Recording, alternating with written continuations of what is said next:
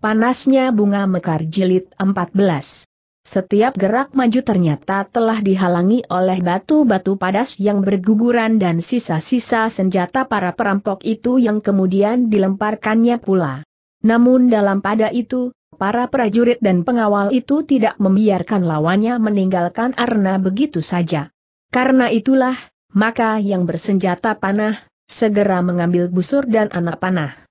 Seperti pada saat para perampok itu datang menyerang, maka anak panah pun kemudian meluncur seperti hujan.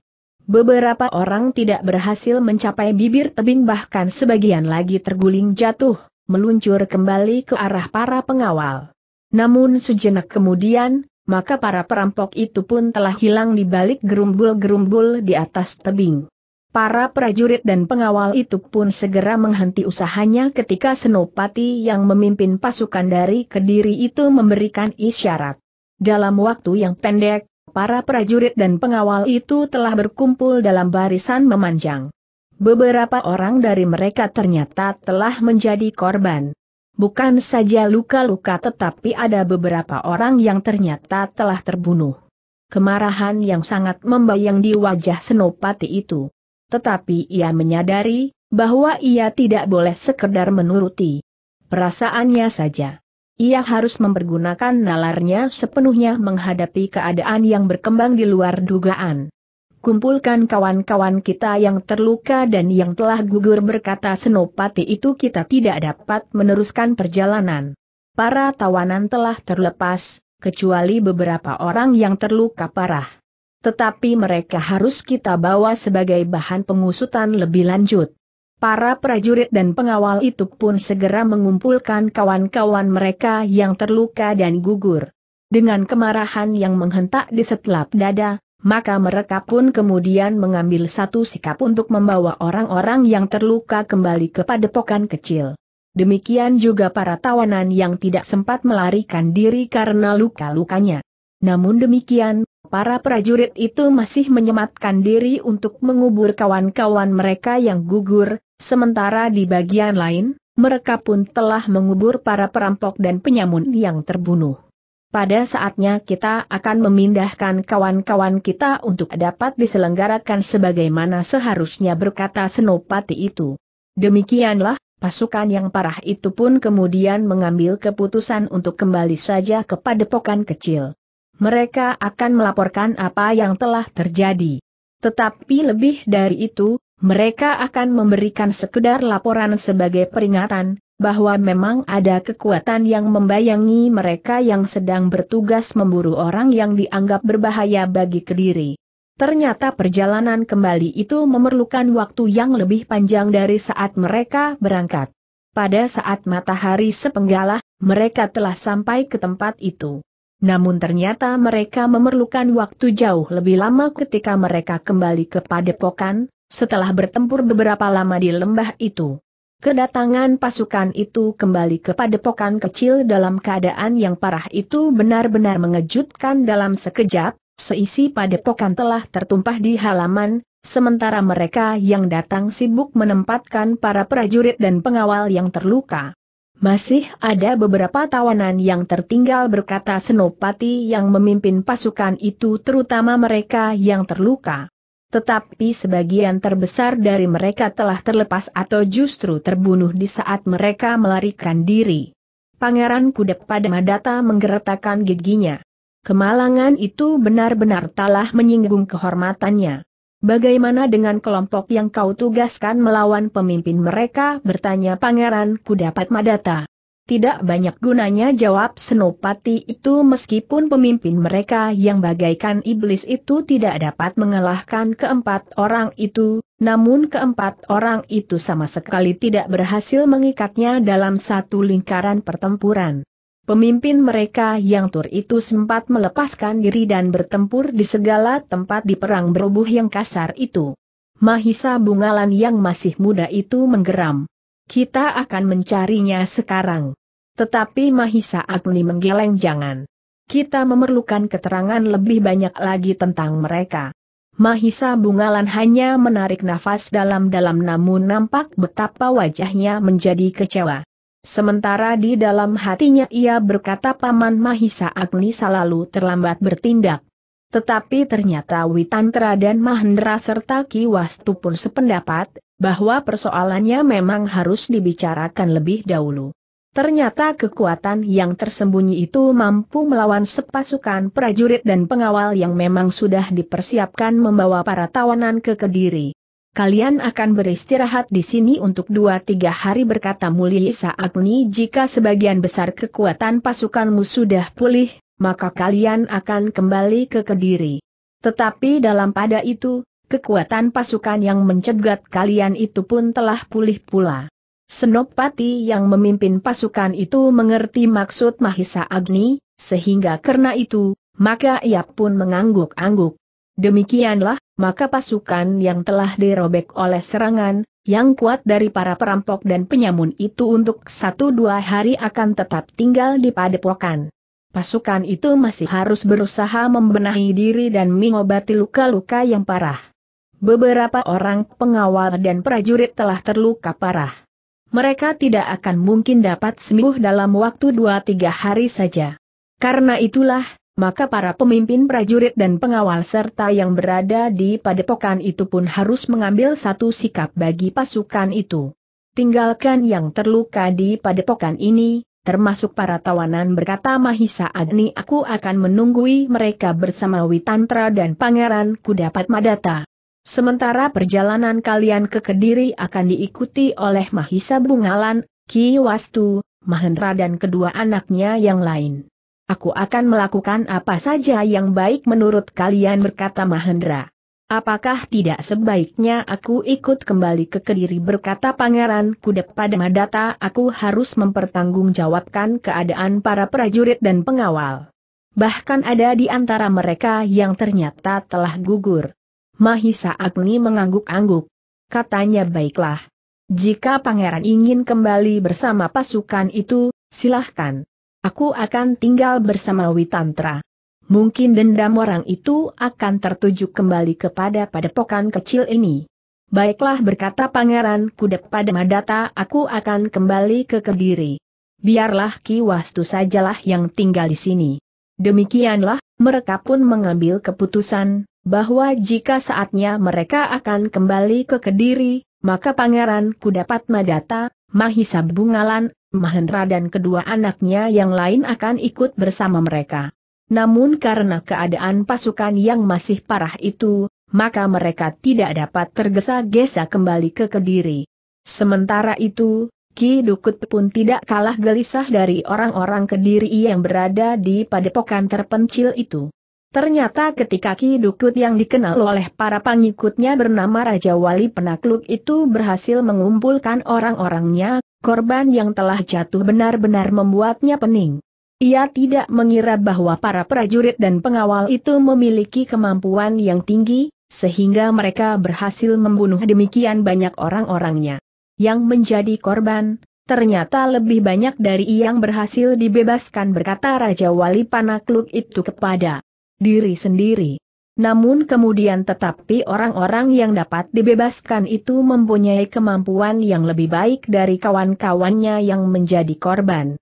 Tetapi para pengikut Raja Wali itu mempunyai penilaian yang lain dari pimpinan tertingginya. Mereka tidak sempat memperhitungkan jumlah kawan-kawannya yang terbunuh. Yang mereka lihat adalah justru kemenangan mereka, karena mereka berhasil membebaskan kawan-kawan mereka yang tertawan ketika mereka menyerang padepokan kecil itu. Ki Dukut membiarkan saja kesan itu. Dengan demikian maka para pengikutnya akan merasa berbesar hati dengan akhir yang mereka anggap sebagai satu kemenangan itu. Perasaan menang itu akan sangat berpengaruh pada mereka, karena perasaan itu akan mendorong mereka menjadi semakin berani dan percaya kepada diri sendiri. Untuk satu dua hari, Ki Dukut yang dikenal bernama Raja Wali Penakluk itu membiarkan keadaan orang-orangnya. Seolah-olah ia memberi mereka kesempatan untuk beristirahat, makan dan tidur. Ki Dukut sengaja tidak memberikan tugas apa pun kepada mereka. Apalagi persediaan mereka masih cukup banyak, sehingga mereka tidak perlu tergesa-gesa merampok dan menyamun. Namun, Ketika keadaan orang-orangnya menjadi semakin baik, maka Ki Dukut pun mulai berpikir, apakah prajurit dan pengawal dari Kediri itu akan segera kembali ke Kediri atau masih lama berada di padepokan itu. Korban yang jatuh di antara mereka akan membuat mereka marah berkata Ki Dukut tetapi hal itu akan memberikan peringatan kepada mereka, bahwa prajurit dan pengawal dari Kediri itu pun terdiri dari manusia siap biasa yang dapat juga mati karena tubuhnya luka tertusuk pedang. Sekilas melintas di dalam pikirannya untuk berbuat sesuatu.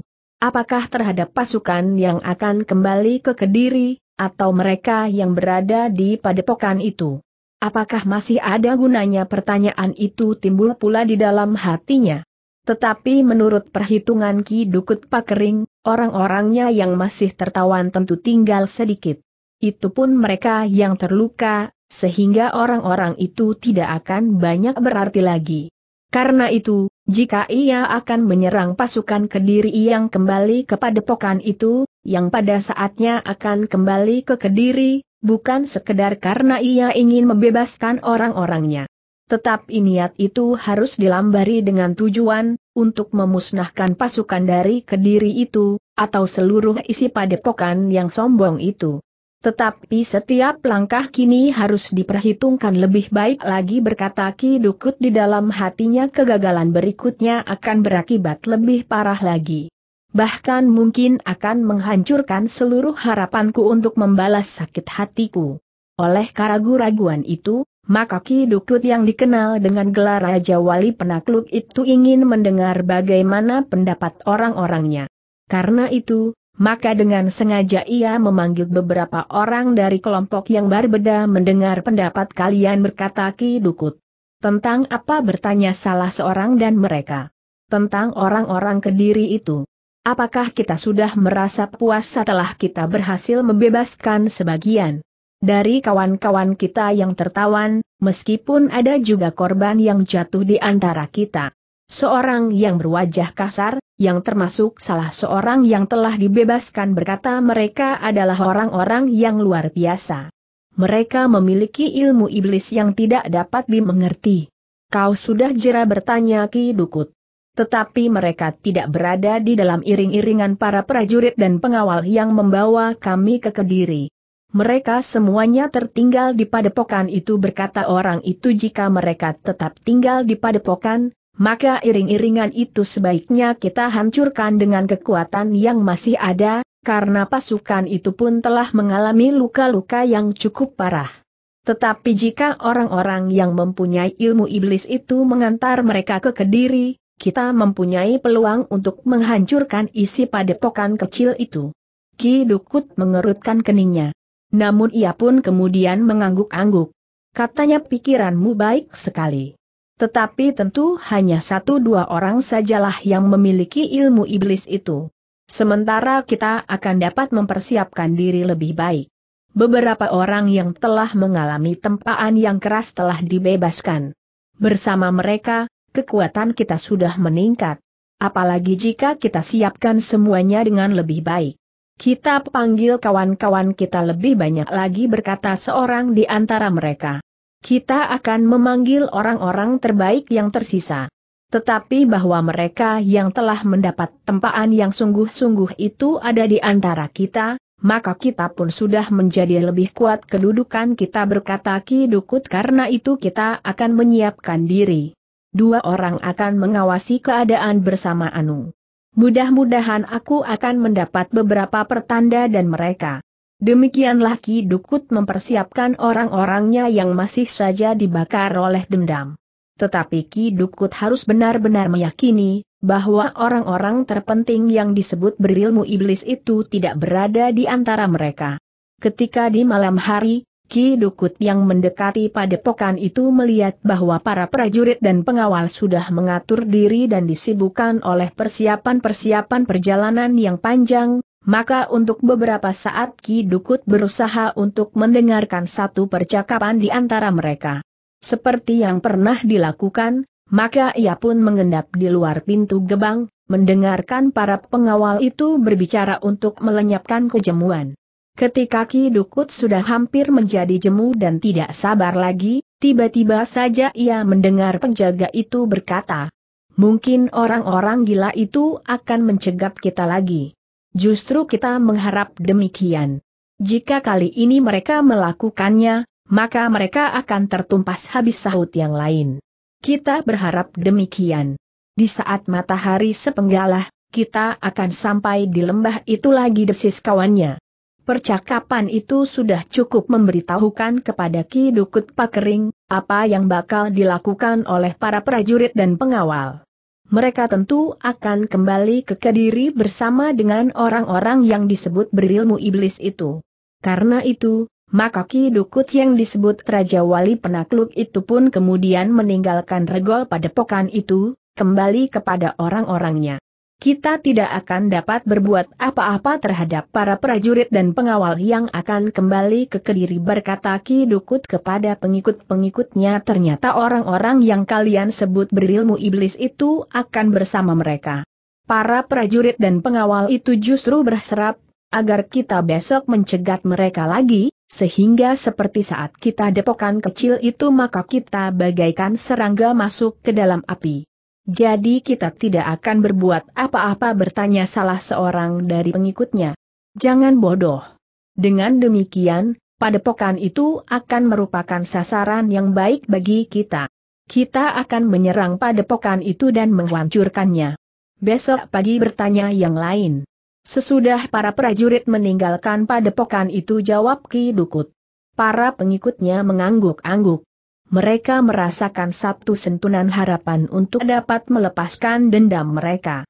Di padepokan itu hanya akan ditunggui para cantrik yang pada umumnya belum memiliki kemampuan bertempur.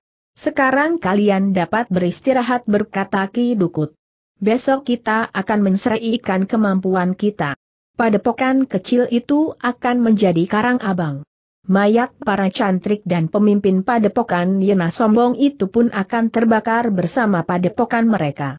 Seperti yang didengar Ki Dukut Pakering, maka prajurit AN para pengawal dari Kediri itu telah bersiap-siap untuk kembali ke Kediri pada pagi hari berikutnya bersama Pangeran Kudapat Madata, Mahendra, Mahisa Bungalan dan kedua adik-adiknya. Namun atas berbagai macam pertimbangan, karena masih ada beberapa prajurit yang terluka dan beberapa orang tawanan, maka Pangeran Kudep pada Madatta memutuskan, ada beberapa orang prajurit dan pengawal yang akan tinggal melayani kawan-kawannya yang terluka sambil mengawasi tawanan yang masih ada di padepokan itu. Ketika Tajar menyingsing, padepokan itu telah menjadi sibuk. Ketika semua persiapan telah selesai, maka iring-iringan itu pun siap meninggalkan padepokan itu menuju ke Kediri. Jangan lengan pesan Pangeran Kudep pada Madata meskipun ia sendiri ikut serta dalam iring-iringan itu yang pernah terjadi menjadi pengalaman yang tidak boleh terulang lagi. Demikianlah, maka Pangeran Kudep pada Madata serta mereka yang akan kembali ke Kediri itu pun segera minta diri. Mahisa Murti dan Mahisa Pukat sebenarnya tidak ingin segera kembali tetapi karena ayahnya menjanjikan bahwa setelah mereka sampai ke Kediri, maka akan kembali lagi untuk melakukan pemburuan yang besar, maka mereka pun telah bersedia ikut pula. Dengan penuh kewaspadaan iring-iringan itu menyusuri jalan persawahan menjauhi padepokan kecil itu menuju ke Kediri.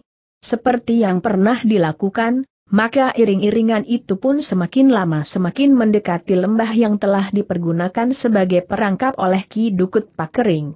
Tetapi iring-iringan yang dipimpin oleh Pangeran Kudep pada Madata itu tidak berjalan kaki seperti yang telah terjadi. Karena mereka tidak membawa tawanan, maka iring-iringan itu pun melaju di atas punggung kuda. Ki Dukut Pakering dan beberapa pengiringnya, sengaja ingin membuktikan Apakah benar di dalam iring-iringan itu terdapat orang-orang yang memiliki ilmu yang tinggi, sehingga orang-orangnya menyebutnya memiliki ilmu iblis? Dari jarak yang cukup, Ki Dukut pun melihat iring-iringan itu semakin lama menjadi semakin dekat. Mereka lebih cepat sampai ke tempat ini desis Ki Dukut yang dikenal oleh orang-orangnya bergelar Raja Wali Penakluk. Mereka berkuda desis yang lain.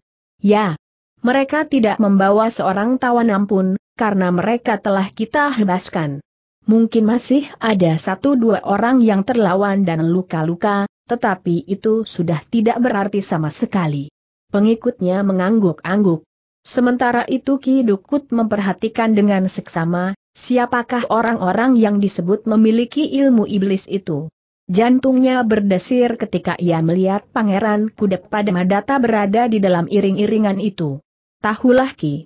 Dukut Pakering, bahwa permusuhannya dengan muridnya itu benar-benar telah mencengkam sampai ke dasar jantung. Ia sendiri dan muridnya itu tidak akan dapat lagi menemukan jalan yang baik untuk menyelesaikan persoalan di antara mereka, karena pertentangan di antara mereka justru semakin lama menjadi semakin dalam. Di sisi Pangeran Kuda pada Madata berkuda seorang anak muda yang pernah dikenal pula oleh Ki Dukut, telah membuat Ki Dukut semakin berdebar-debar. Bahkan di luar sadarnya ia mengumpat gila. Agaknya iblis-iblis itulah yang telah menghancurkan orang-orangku. Kenapa tiba-tiba saja mereka berada di padepokan itu? Apakah mereka mengetahui bahwa aku berada di tempat ini? Namun Ki Dukut pun mengetahui, bahwa Pangeran Kudep pada Madata tentu mengenal pengikutnya yang paling setia, yang telah terbunuh di padepokan itu. Dengan demikian, maka pangeran itu tentu mengetahui, bahwa aku berada di sekitar tempat ini. Dan agaknya pangeran itu pun mengetahui bahwa akulah yang telah mencegat prajurit dan pengawal kediri yang membawa tawanan melalui lembah itu berkata Ki Dukut di hatinya pula. Dalam pada itu, iring-iringan itu melaju tanpa mengalami gangguan apa pun juga. Pangeran Kudep pada Madata yang mengharap dapat bertemu dengan gurunya, menjadi kecewa, bahwa pasukan yang mencegat itu tidak melakukannya lagi. Tetapi Pangeran Kudep pada Madata tetap berhati-hati. Mungkin pasukan yang diduganya dipimpin oleh Ki Dukut itu telah mengambil tempat yang lain. Namun ternyata bahwa Ki Dukut yang bergelar Raja Wali Penakluk itu hanya memandangi saja pasukan yang lewat, karena ia telah mempunyai rencana yang lain. Ketika iring-iringan itu menjadi semakin jauh maka Ki Dukut itu pun tertawa sambil berkata kita mendapat kesempatan untuk melakukan sesuatu atas padepokan kecil itu. Para pengikutnya pun tertawa. Seseorang yang pernah tertawa di padepokan itu pun berkata ada beberapa orang yang memiliki ilmu iblis. Selain yang disebut pangeran itu ada pula beberapa anak muda yang gila di antara mereka. Dan seorang tua. Tetapi agaknya masih ada satu dua orang yang tertinggal di padepokan. Ada beberapa orang mereka semuanya bertanya Ki Dukut. Orang itu mengerutkan keningnya. Katanya aku tidak tahu pasti. Yang lewat bersama mereka, para prajurit dan pengawal itu ada beberapa bertanya Ki Dukut pula. Lima atau enam. Aku kurang pasti jawab orang itu. Agaknya semuanya telah kembali ke Kediri mungkin masih ada satu dua orang prajurit dan pengawal yang mengawasi para tawanan yang terluka. Tetapi itu tidak akan berarti apa-apa desis Ki Dukut Pakering.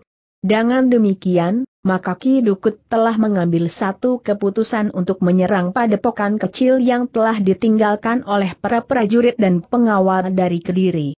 Beberapa orang yang telah mendapat tempaan yang keras telah dibebaskan bersama dengan pengikatnya dalam jumlah yang besar, maka Ki Dukut Pakering yang dikenal sebagai Raja Wali Penakluk itu merencanakan untuk melumatkan sama sekali padepokan yang telah dianggapnya menantang dan bahkan berkhianat itu. Ketika Ki Dukut kemudian kembali ke sarangnya, maka ia pun segera menghimpun orang-orangnya. Memilih yang terbaik di antara mereka. Namun ia tidak mengabaikan pula jumlah yang akan dibawanya, sehingga semuanya sudah meyakinkannya, bahwa ia akan dapat menghancurkan padepokan itu. Kita tidak tergesa-gesa seperti saat kita menjebak iring-iringan itu berkata Ki Dukut padepokan itu tidak akan pergi ke mana-mana. Sedangkan iring-iringan pasukan itu harus diperhitungkan tempat dan waktu yang tepat, agar kita tidak terlambat. Para pengikutnya mengangguk anggih. Mereka pun mengerti, bahwa mereka dapat melangkah dengan perhitungan yang lebih cermat. Kita dapat berlaku sebagai seekor kucing terhadap seekor tikus berkata Ki Dukut kita kepung padepokan itu. Kita akan menakut-nakuti mereka, sebelum kita berbuat sesuatu. Jika mereka semuanya telah menggigil ketakutan untuk beberapa lamanya, maka barulah kita memasuki padepokan itu. Mereka tentu akan mati membeku dengan sendirinya sebelum kita berbuat apa-apa. Para pengikutnya tertawa. Agaknya memang menyenangkan. Setelah mereka dicengkam oleh ketegangan beberapa saat lamanya, maka mereka akan menyaksikan sesuatu yang akan sangat menyenangkan bermain-main dengan perasaan takut orang lain. Kemudian dengan sekehendak hati memperlakukan mereka yang sadang ketakutan itu. Kapan kita akan mulai tiba-tiba seseorang tidak sabar lagi? Jangan tergesa-gesa desis Ki Dukut. Sekarang kita dapat mulai berkata yang lain. Kita Dukut yang bergelar Raja Wali Penakluk itu tertawa. Ia menemukan cara yang paling baik untuk membangkitkan kepercayaan kepada diri sendiri bagi anak buahnya yang hampir saja menjadi putus asa dan kehilangan harapan. Bahwa mereka merasa diri mereka menang ketika mereka berhasil membebaskan kawan-kawan mereka, meskipun dengan korban yang sangat banyak, Ki Dukut sudah mulai berharap bahwa orang-orangnya itu akan bangkit. Carrier yang akan menyenangkan pengikutnya menghadapi padepokan itu pun akan dapat mempertebal gairah perjuangan mereka. Sasaran utamaku adalah Kasang Jati Gumam Ki Dukut Pakering. Balam pada itu, maka Ki Dukut Pakering pun telah mempersiapkan pasukan yang kuat. Mereka yang tidak terpilih untuk ikut serta, merasa sangat kecewa rasa-rasanya mereka tidak akan dapat ikut melihat satu pertunjukan yang akan sangat mengesankan dan jarang kali dapat dijumpainya pada waktu mendatang. Tentu tidak semuanya berkata Ki Dukut sebagian dari kalian harus menunggui kekayaan yang telah kita kumpulkan. Meskipun untuk daerah yang luas, kita telah bersatu dan tidak akan saling mengganggu, tetapi masih perlu ada pengawasan atas segalanya yang telah kita kumpulkan. Betapa perasaan kecewa mencengkeram jantung, tetapi mereka harus patuh. Tinggal di barak bersama beberapa orang tanpa berbuat sesuatu. Agaknya para pengikutnya tidak sabar untuk menunggu sampai hari berikutnya. Agar tidak mengecewakan, maka Ki Dukut pun kemudian mempersiapkan pasukannya dan memberitahukan kepada mereka sebaiknya hal ini kita lakukan di siang hari. Mereka akan dapat melihat kekuatan kita mereka akan menjadi cemas dan ketakutan, sementara kita hanya duduk-duduk saja melingkari padepokan itu. Malam nanti kita berangkat berkata seseorang ketika pagi-pagi mereka terbangun, maka mereka akan melihat bahwa padepokan mereka telah terkepung. Sebagian dari mereka tentu akan segera jatuh pingsan. Kita akan mengepung mereka tiga hari tiga malam, agar mereka merasakan ketakutan untuk waktu yang cukup sebelum jiwa mereka kita renggut dari batang tubuhnya. Yang terdengar adalah suara tertawa berkepanjangan sambil teriak-teriakan gembira. Bahkan beberapa orang berteriak setuju sekali dengan care itu. Kita akan mendapat permainan yang menyenangkan. Seperti yang direncanakan, maka Ki Dukut itu pun telah membawa pasukannya mendekati padepokan kecil itu, maka mereka pun segera mengatur diri, mengepung padepokan itu. Sebagian terbesar dari mereka berada di depan padepokan. Beberapa orang telah mendapat tugas untuk mengawasi setiap pintu butulan dan sudut padepokan, agar tidak seorang pun yang sempat melarikan diri. Dengan gembira para pengikut Ki Dukut itu berharap, agar pagi segera terbit. Mereka seolah-olah tidak sabar lagi menunggu, isi padepokan itu menjadi ketakutan dan menggigil sambil memohon ampun. Tetapi tidak ada ampun. Mereka akan mati dalam keadaan yang paling pahit berkata salah seorang dari mereka. Kami akan membunuh mereka dengan perlahan-lahan berkata yang lain. Apa pun dapat kita lakukan. Jika kita mengepung mereka tiga hari tiga malam, maka sebagian mereka tentu sudah mati dengan sendiri dalam keadaan yang sangat ketakutan. Orang-orang itu tertawa. Mereka sama sekali tidak mengekang diri, seperti sepasukan prajurit yang dengan diam-diam mengepung benteng lawan. Tetapi mereka seolah-olah telah dengan sengaja menunjukkan kepada orang-orang di dalam dinding padepokan itu, bahwa mereka telah datang. Para penjaga regol di padepokan itu pun akhirnya mendengar kegaduhan di luar meskipun tidak terlalu dekat. Tetapi mereka tidak segera dapat mengetahui apakah yang telah terjadi. Seorang dari antara mereka telah memasang tangga untuk melihat siapakah yang berada di luar dinding. Dari sisi gapura, seseorang menjenguk keluar. Tetapi gelapnya malam masih belum dapat ditembusnya dengan tatapan mata. Siapa bertanya kawannya tidak tahu jawab yang memanjat aku tidak melihat dengan jelas, tetapi aku kira sekelompok orang yang tidak kita kenal berada di depan padepokan ini. Sebentar lagi Tajar akan menyingsing sahut yang lain. Kita akan segera melihat. Namun mungkin sekali sebelum Fajar telah terjadi sesuatu atas padepokan ini. Jadi, apakah yang akan kita lakukan? Memukul tanda bahaya bertanya kawannya. Belum tentu. Aku akan melaporkan saja kepada kawan-kawan agar mereka bersiaga. Salah seorang dari para cantrik yang berjaga-jaga di regol itu pun segera pergi ke barak. Ia membangunkan beberapa orang kawannya dan mengatakan apa yang diketahuinya. Kau sudah melaporkannya kepada pemimpin kita dan para tamu itu bertanya seorang cantrik. Belum jawab kawannya kukira masih belum perlu sebelum kita yakin apa yang terjadi. Beberapa orang cantrik itu pun telah bersiaga.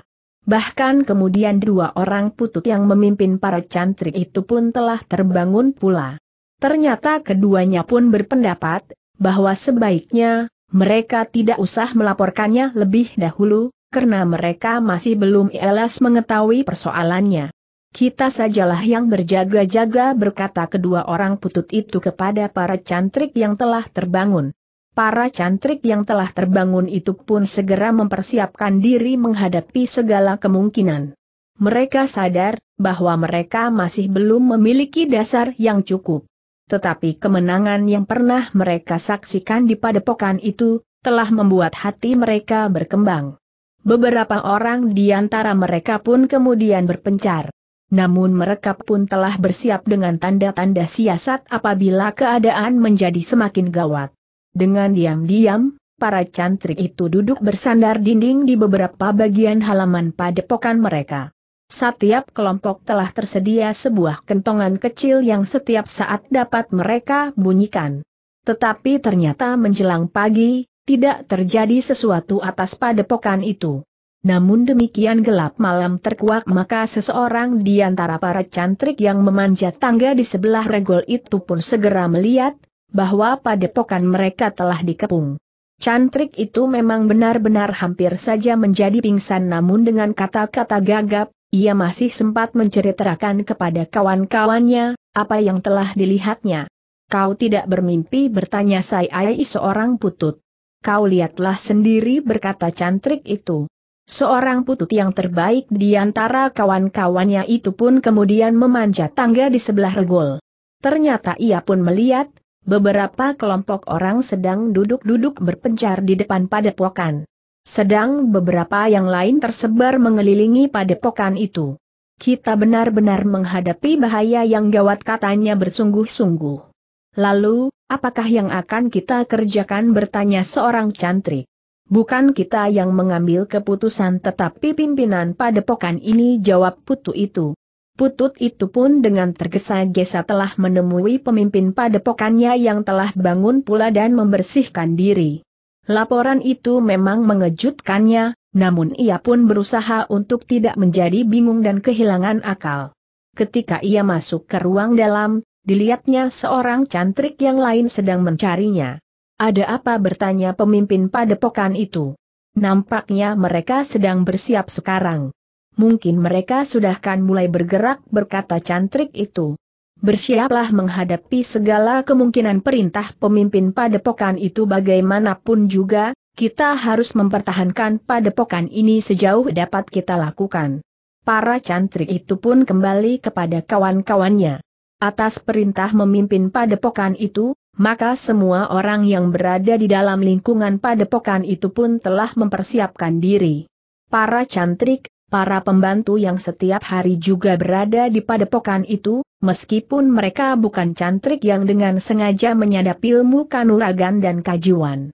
Dendam mereka telah membakar jantung berkata pemimpin padepokan itu karena itu, kita justru harus bersikap jantan.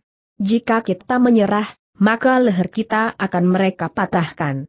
Tetapi jika kita melawan, seandainya kita akan mati juga namun kematian kita adalah kemati seorang laki-laki. Kata-kata itu telah menumbuhkan gairah perjuangan bagi para cantrik yang semula merasa cemas menghadapi perkembangan keadaan. Dalam pada itu, pemimpin padepokan itu pun segera menemui Mahisa Agni, Witantra dan Ki Wastu yang masih tinggal. Ia pun segera menyampaikan apa yang telah terjadi di luar dinding padepokan. Mahisa Agni mengangguk-angguk. Ia menyadari betapa keadaan memang menjadi gawat. Karena itulah, maka ia pun segera memanggil beberapa orang prajurit yang masih tinggal untuk membantu kawan-kawan mereka yang terluka dan mengawasi beberapa orang tawanan yang tidak sempat melarikan diri, namun yang justru telah terluka pula. Kita menghadapi keadaan yang gawat berkata Mahisa Agni. Para prajurit itu mengangguk-angguk. Jumlah mereka memang terlalu kecil dibandingkan dengan orang-orang yang dilaporkan berada di luar dinding. Tetapi mereka mempunyai kemampuan untuk mempertahankan diri. Sementara di antara mereka terdapat para cantrik yang jumlahnya tidak terlalu kecil. Bersiaplah berkata Mahisa Agni sisihkan kawan-kawanmu yang terluka, dan simpanlah para tawanan baik-baik. Sebagian dari kawan-kawan yang terluka, masih mampu bertempur pula berkata pemimpin prajurit dan pengawal yang ditinggal di padepokan itu. Jangan paksa mereka berkata Mahisa Agni dengan demikian, maka luka-luka yang sudah akan berangsur baik akan menjadi parah lagi. Tetapi itu masih lebih baik daripada kita harus menyerahkan leher kita jawab pemimpin prajurit itu. Meskipun demikian, kalian dapat memperhitungkan, siapakah yang akan dapat turun ke Arna, dan siapa yang harus tetap tinggal diam berkata Mahisa Agni kemudian. Pemimpin prajurit dan pengawal itu mengangguk-angguk. Ia pun kemudian meninggalkan Mahisa Agni dan menemui kawan-kawannya untuk menyampaikan perintah agar mereka bersiap-siap menghadapi segala kemungkinan. Agak berbeda dengan para cantrik, meskipun para prajurit dan pengawal itu menjadi berdebar-debar juga, namun mereka sudah cukup terlatih dan ditempa badani dan jiwani menghadapi segala kemungkinan. Karena itu, mereka masih nampak selalu tenang. Beberapa orang yang terluka, yang merasa dirinya sudah berangsur baik, telah bertekad untuk ikut serta mempertahankan padepokan itu dengan senjata di tangan. Seperti yang dikatakan oleh pemimpin prajurit dan pengawal itu, bahwa bertempur akan jauh lebih baik daripada menyerahkan leher tanpa perlawanan apa pun. Aku akan membubuhkan obat yang cukup pada lukaku, agar darah tidak lagi mengalir dari luka itu meskipun aku harus bertempur sambil mengerahkan tenaga berkata salah seorang dari antara mereka. Demikianlah, maka para prajurit dan pengawal pun segera bersiap yang terluka telah mencoba untuk menjaga luka-luka mereka sebaik-baiknya. Sementara orang yang mereka anggap sebagai tawanan dan terjuka pula, telah mereka singkirkan. Kami terpaksa mengikat kalian berkata seorang pengawal. Dalam pada itu, maka di dalam dinding padepokan itu, para putut, para cantrik, para pengawal dan prajurit pun telah bersiaga sepenuhnya. Mereka menunggu, orang-orang yang mengepung di luar dinding itu akan segera menyerang. Tetapi ternyata Ki Dukut Pakering tidak segera memerintahkan orang-orangnya untuk menyerang. Mereka justru berada di luar dinding dengan tingkah laku yang aneh. Mereka makan, minum dan bergembira, seolah-olah mereka tidak sedang menghadapi dinding padepokan yang akan dihancurkannya. Tentu tikus-tikus itu menjadi gelisah dan ketakutan berkata orang-orang itu kita akan menunggui mereka sampai tiga hari tiga malam. Pada hari keempat, mereka telah membeku karena ketakutan dan kecemasan. Karena itu, di hari pertama itu, yang mereka lakukan justru sekedar menarik perhatian. Kegelisahan orang-orang yang berada di dalam dinding padepokan menjadi semakin menghunjam ke dasar jantung. Satu dua di antara mereka yang sempat menjenguk mereka dari atas tangga merasa betapa orang-orang yang mengepung mereka itu telah memastikan, bahwa mereka akan dapat melakukan apa saja yang mereka kehendaki. Mereka dapat melakukan kapan saja sesuai dengan keinginan mereka. Kadang-kadang terdengar suara tertawa meninggi di antara gurau yang kasar. Bahkan sekali-sekali satu dua orang yang berada di luar dinding itu telah melemparkan satu dua butir batu ke arah padepokan diiringi suara tertawa berkepanjangan. Tingkah laku mereka benar-benar membuat para cantrik menjadi kecut. Hati mereka kuncup semakin kecil. Setiap kali mereka bagaikan terhenyak ke dalam sebuah mimpi yang paling buruk. Tetapi bukan sekedar mimpi desis seseorang ketika ia memanjat dinding dan melihat keluar, ternyata yang selalu mengelisahkan itu masih ada. Memang bukan sekedar mimpi yang akan segera hilang jika mereka terbangun. Di hari pertama, para cantrik dengan gelisah mencoba untuk mendapatkan penjelasan dari putut yang lebih tua dari mereka. Namun putut-putut itu pun sama sekali tidak dapat memberikan penjelasan, selain pesan, agar mereka selalu bersiap menghadapi segala kemungkinan. Ketika matahari kemudian turun di ujung barat, kegelisahan pun menjadi semakin memuncak. Seisi padepokan itu memperhitungkan, bahwa apabila malam turun maka orang-orang itu akan menyerang padepokan yang mereka anggap terlalu lemah itu. Kita akan memasang obor di segala sudut berkata putut yang tertua dengan demikian, kita akan dapat mengamati keadaan sebaik-baiknya. Kita akan dapat mengamati keadaan orang yang memanjat dan meloncat turun di halaman. Itu akan menghahiskan minyak desis seorang cantrik. Tetapi itu lebih baik jawab putut itu besok kalian akan memanjat kelapa sehanyak-banyaknya. Kita akan membuat minyak kelapa yang cukup selain kita harus mengumpulkan biji jarak, kelenteng randu dan apa pun yang dapat kita kerengseng menjadi minyak. Para cantrik tidak membantah. Bagaimanapun mereka menghargai minyak kelapa yang dapat mereka pergunakan untuk kepentingan dapur, namun dalam keadaan yang gawat mereka tidak dapat menyimpannya saja. Karena itulah, maka para cantrik telah membuat obor-obor kecil yang akan mereka pasang di beberapa tempat di sudut-sudut halaman. Dengan tangkai-tangkai panjang, mereka menempatkan obor-obor kecil itu di dekat dinding, agar mereka dapat mengawasi setiap kemungkinan seseorang meloncat masuk. Tidak perlu dengan obor-obor itu desis Mahisa Agni yang melihat seorang cantrik memasang obor. Tetapi putut-putut itu memerintahkannya jawah cantrik itu. Mahisa Agni mengangguk-angguk. Tetapi karena perintah itu telah diberikan, maka ia tidak mencegahnya lagi. Bagi Mahisa Agni dan para prajurit dan pengawal, lampu-lampu obor itu memang tidak perlu. Tetapi mereka harus langsung mengawasi setiap jengkal dinding padepokan semalam suntuk, meskipun berganti-ganti. Demikianlah, ketika gelap malam mulai turun, maka beberapa obor telah dinyalakan. Meskipun tidak terlalu terang, tetapi cahaya obor itu memang dapat menerangi bibir dinding padepokan, sehingga jika ada satu dua orang yang meloncat turun ke halaman, maka orang itu akan segera dapat dilihat. Sementara itu beberapa orang cantrik telah membagi diri dalam kelompok-kelompok yang dipimpin oleh para putut di padepokan itu. Selain daerah pengawasan, mereka pun telah menentukan saat-saat mereka berjaga-jaga. Para cantrik telah membagi malam menjadi tiga kerat waktu. Namun meskipun mereka yang tidak sedang bertugas, para cantrik itu harus berada di tempat yang telah ditentukan dengan senjata masing-masing. Selain para cantrik, maka para pengawal dan prajurit telah menentukan waktu dan tempat tersendiri.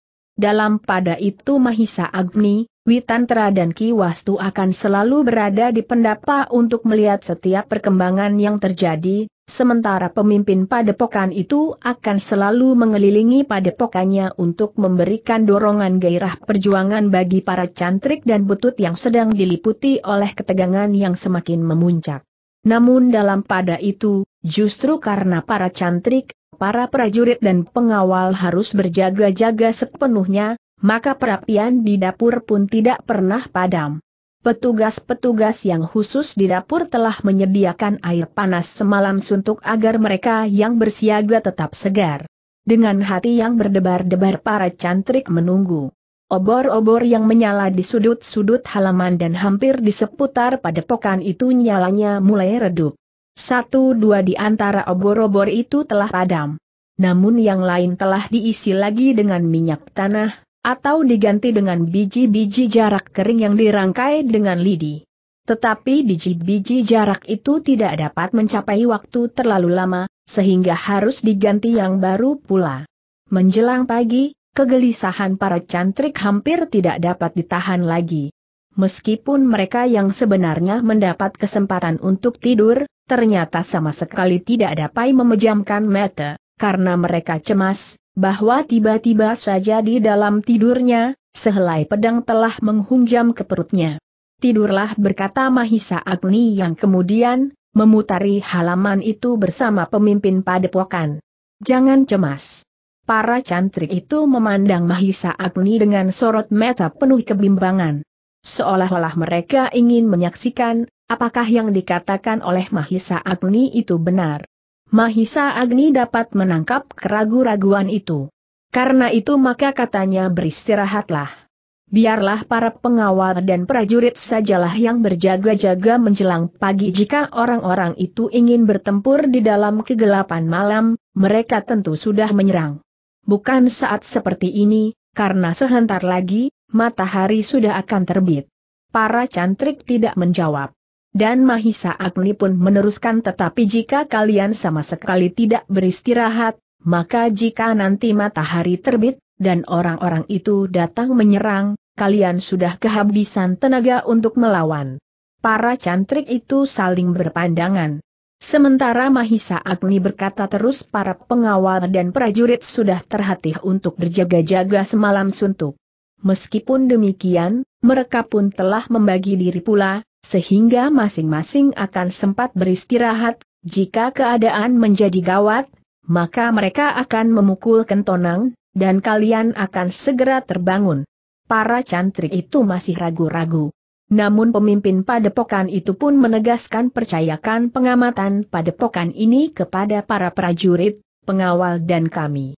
Penegasan itu membuat para cantrik agak tenang. Karena itu, mereka pun segera mencari tempat yang paling haik untuk beristirahat. Bahkan ada di antara mereka yang tidur di tempat yang tersembunyi.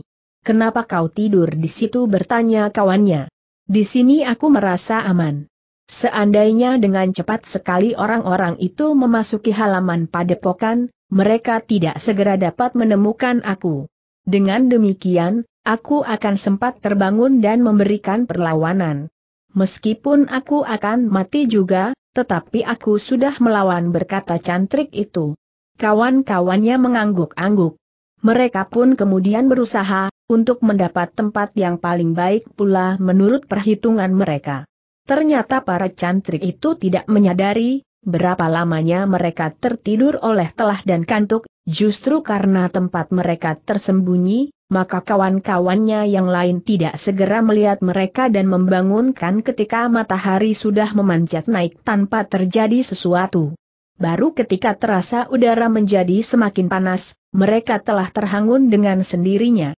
Namun mereka mengumpat ketika mereka sadar, bahwa matahari telah naik sepenggalah. Kau tidak mau membangunkan aku geramnya ketika ia bertemu dengan kawannya yang melintas dengan pedang di lambung. Kau tidur di mana bertanya kawannya itu. Tetapi cantrik itu tidak menjawab. Ia pun kemudian langsung menuju ke pakiwan.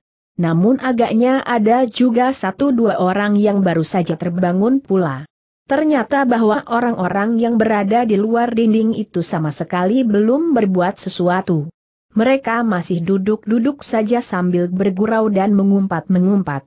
Dengan sengaja mereka berteriak-teriak agar suara mereka dapat didengar dari dalam dinding. Seorang cantrik yang menjenguk mereka dengan memanjat tangga melihat bahwa mereka telah membuat perapian untuk merebus air dan menanak nasi.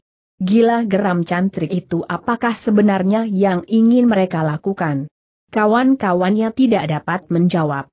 Namun setiap cantrik di dalam padepokan itu merasa, betapa kegelisahan semakin mencengkam dada mereka. Seolah-olah berada di ambang pintu bilik hantu yang sangat menakutkan. Mereka membuat kita di sini hampir gila berkata seorang cantrik kepada kawannya. Ya, agaknya mereka memang dengan sengaja berbuat demikian sehingga akhirnya mereka akan dengan sangat mudah membinasakan kita desis seorang putut. Para cantrik itu mengangguk-angguk. Tetapi mereka tidak dapat berbuat sesuatu untuk mengusir ketegangan yang mencengkam hati. Meskipun para prajurit dan pengawal masih tetap tenang, tetapi sebenarnya lah hati mereka pun mulai dirayapi oleh kegelisahan yang semakin memuncak. Setiap kali mereka mendengar teriakan-teriakan dan suara tertawa yang meledak, jantung mereka rasa-rasanya akan pecah oleh kemarahan yang meluap tetapi para prajurit dan pengawal masih dapat menahan diri. Mereka masih tetap tenang betapapun hati mereka bergejolak dan dengan seksama mengikuti perkembangan keadaan. Satu dua di antara mereka pun telah menjenguk lewat tangga di sebelah gerbang untuk mengamati apa yang dilakukan oleh orang-orang yang berada di luar dinding. Di siang hari yang terik, orang-orang yang mengepung pada pokari itu telah berkerumun di bawah bayangan pohon rindang. Mereka berbaring sambil berkelakar.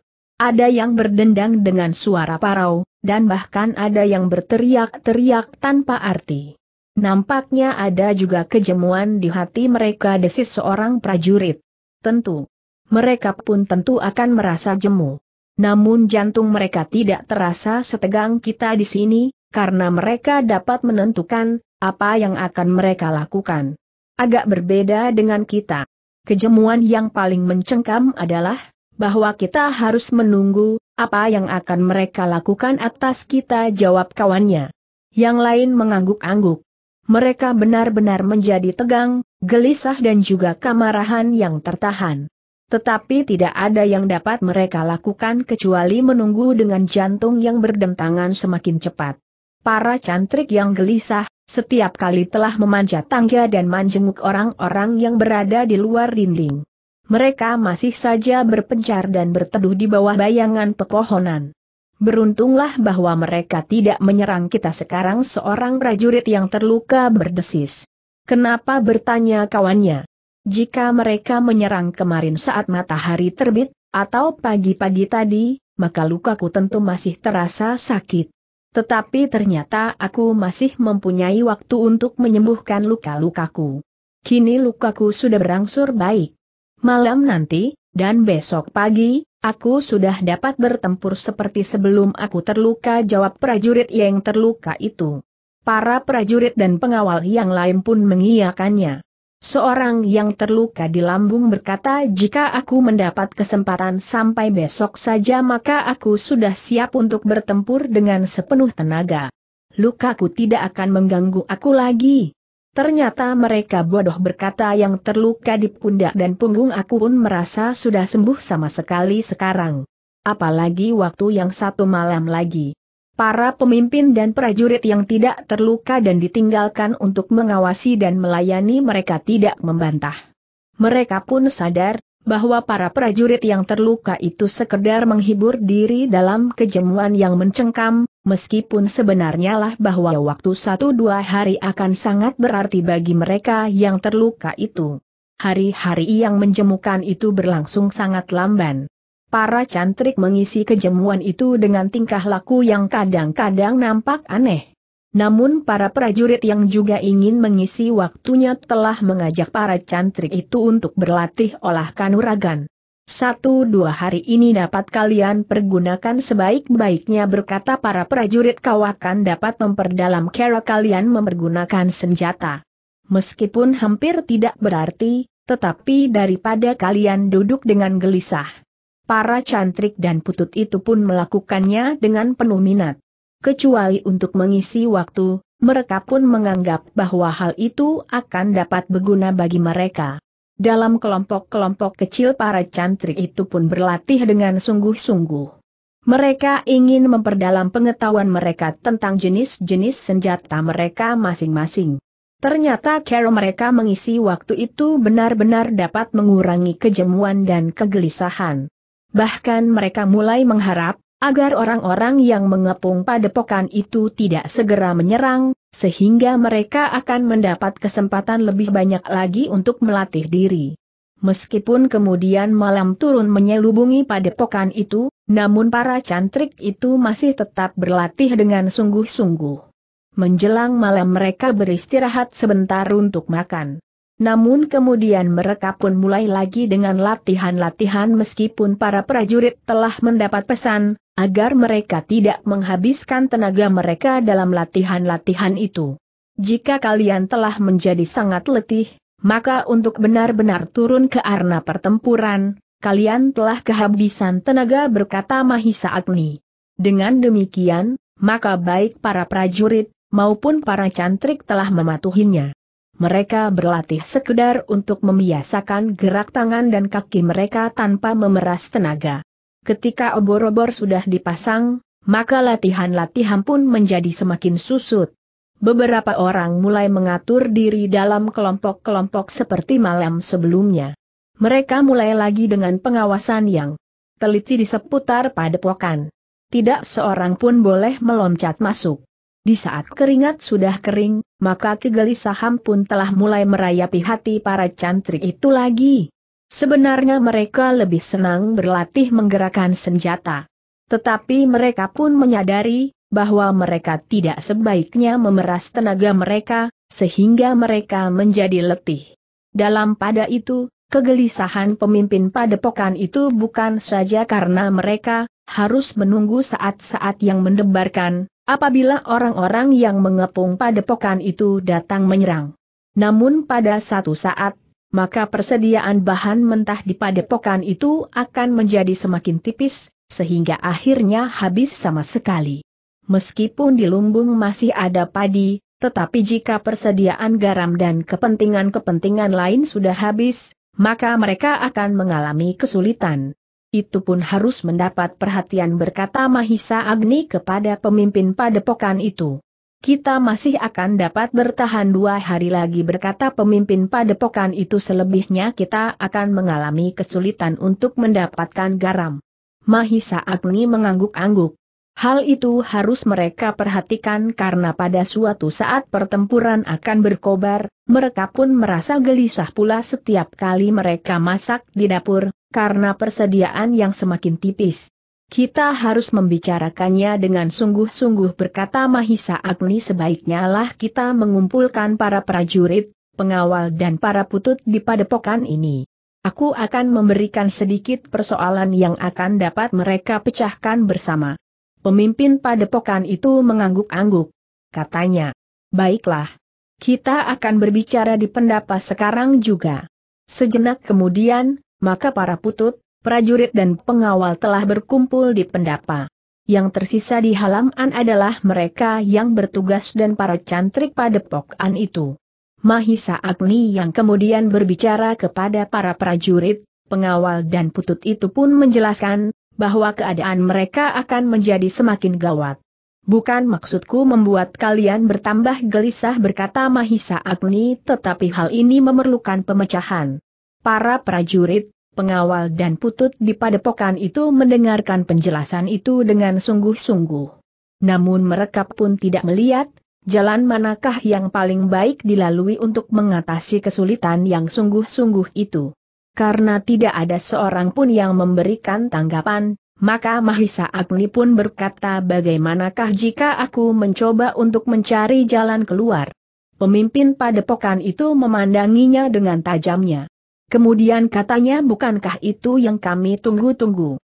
Baiklah berkata Mahisa Agni sudah sekian lama kami dicengkam oleh kegelisahan, kecemasan dan barangkali perasaan-perasaan lain di dalam hati kita karena orang-orang itu tiba-tiba saja telah mengepung kita. Kita tentu tahu pasti, siapakah mereka. Dan kita pun dapat membayangkan betapa besarnya kekuatan mereka. Tetapi kita pun bukan anak-anak yang hanya mampu merengek. Kita dapat berbuat sesuatu. Nah, kenapa kita tidak berbuat sesuatu untuk menghadapi mereka? Apakah yang kau maksud bertanya pemimpin padepokan? Selama ini kita dicengkam oleh ketegangan sambil menunggu, kapan orang-orang itu datang menyerang. Kenapa kita tidak mengambil sikap lain daripada sekedar menunggu? Misalnya, kenapa bukan kita saja yang menyerang mereka? Pertanyaan itu bagaikan menghentak di setiap hati. Seorang perwira prajurit yang bertugas tinggal bersama beberapa orang kawannya dan pare pengawal dengan serta-merta menyahut kita dapat melakukannya. Kita akan menyerang mereka justru di saat yang tidak mereka duga. Kemungkinan itu ternyata telah menggerakkan hati setiap orang di pendapat itu. Karena itu, maka pemimpin padepokan itu pun berkata aku kira hal itu dapat dipertimbangkan. Aku kira itu akan lebih baik daripada kita. Apakah ada yang menyatakan keberatan dengan pertimbangan yang lain bertanya Mahisa Agni. Kami sependapat desis beberapa orang bersama-sama. Mahisa Agni pun kemudian berpaling kepada Witantra dan Ki Wastu. Namun agaknya keduanya pun sependapat dengan rencana itu, sehingga keduanya mengangguk-angguk kecil. Dalam pada itu, Mahisa Agni pun berkata jika semuanya telah setuju, maka biarlah kita segera bertindak. Kita tidak akan melangkah dengan lamban sekali seperti orang-orang itu. Tetapi kita akan melangkah dengan cepat. Kapan kita akan melakukannya bertanya pemimpin padepokan itu. Sebagian dari para cantrik memang kurang berlatih berkata Mahisa Agni karena itu, maka lebih baik bagi kita untuk bertempur di siang hari. Karena itu, kita akan menunggu, apakah malam ini mereka akan menyerang atau tidak. Jika tidak, maka besok pagi-pagi menjelang matahari terbit, kitalah yang akan menyerang. Kenapa tidak sekarang bertanya perwira prajurit, yang tinggal di padepokan itu? Sebagian besar dari para cantrik belum terbiasa bertempur di malam hari. Bahkan di siang hari pun mereka masih akan banyak mengalami kesulitan jawab Mahisa Agni. Perwira itu mengangguk-angguk. Katanya mudah-mudahan mereka tidak mendahului kita. Kitalah yang akan menyerang mereka. Karena itu, biarlah para cantrik malam ini lebih banyak beristirahat. Kitalah yang akan mengawasi keadaan terus-menerus kita akan dapat mengetahui, apakah persiapan mereka sudah sampai tingkat terakhir berkata Mahisa Agni. Baiklah berkata pemimpin para prajurit dan pengawal yang tinggal itu aku akan mengatur penjagaan malam ini. Demikianlah, maka para prajurit dan pengawal sudah mendapat perintah untuk bersiap sebaik-baiknya. Sementara itu, maka para cantrik pun diperintahkan untuk beristirahat seluruhnya. Meskipun demikian, Jangan lengah. Kalian harus mendengarkan tanda sebaik-baiknya dengan cirinya masing-masing berkata para putut nah, carilah tempat yang paling baik untuk tidur. Percayakan penjagaan malami kepada para prajurit dan pengawal. Para cantrik itu menjadi ragu-ragu. Tetapi karena perintah itu nampaknya meyakinkan, maka mereka pun kemudian mencari tempat yang paling baik untuk tidur. Ada satu dua di antara mereka yang tidur di sebelah dapur. Tetapi ada pula yang tidur di bagian atas kandang. Para prajurit dan pengawalah yang mengambil alih tugas penjagaan. Mereka pun harus membagi diri, sehingga mereka pun sempat beristirahat. Menjelang pagi mereka harus sudah bersiap untuk bertempur. Justru karena pengawasan langsung dari sebelah regol, maka seisi padepokan itu merasa tenang untuk beristirahat. Orang-orang yang mengepung padepokan itu tidur berserakan, sementara beberapa orang di antara mereka sajalah yang berjaga-jaga di dekat perapian-perapian yang mereka nyalakan untuk penghangat tubuh. Pasti bahwa mereka tidak akan menyerang malam ini berkata seorang prajurit yang mengawasi mereka dari atas tangga. Para prajurit dan pengawal yang lain pun percaya, seperti yang dikatakan oleh prajurit itu. Seseorang pengawal yang kemudian menjenguk pula, telah yakin, bahwa orang-orang itu justru tidak menghiraukan lagi kedudukan mereka yang sedang mengepung tempat lawan. Mereka menjadi lengah karena mereka merasa terlalu kuat berkata seorang prajurit mudah-mudahan keadaan itu sampai pagi hari. Ketika hal itu dilaporkan kepada pimpinan padepokan dan kepada Mahisa Agni, maka Mahisa Agni pun telah memerlukan pula menjenguk mereka. Agaknya ia pun berkesimpulan serupa. Orang-orang itu menganggap bahwa di padepokan kecil itu sama sekali tidak ada lagi kekuatan yang akan dapat melindungi para penghuninya. Mereka menganggap kita terlalu lemah berkata Mahisa Agni kemudian karena itu, beristirahatlah sebaik-baiknya sebelum pagi. Meskipun demikian, pengawasan harus berjalan terus. Mahisa Agni, Witantra, Ki Wastu dan pemimpin di padepokan itu pun ternyata sempat pula beristirahat. Mereka sempat tidur di ruang dalam. Namun mereka telah berpesan, bahwa para petugas jangan sampai lengah. Meskipun nampaknya mereka tidur berserakan, tetapi dalam sekejap mereka telah mampu mempersiapkan diri untuk menyerang berkata Mahisa Agni karena itu, jika kalian mendengar aba-aba yang dapat diartikan sebagai satu gerakan untuk menyerang, maka kalian harus segera melihat, apakah yang terjadi di luar. Seterusnya memberikan isyarat dengan kentongan. Namun ternyata bahwa di luar padepokan itu tidak terjadi sesuatu. Orang yang mengepung padepokan itu masih saja tidur berserakan, sementara beberapa kelompok masih mengerumuni perapian yang menyala.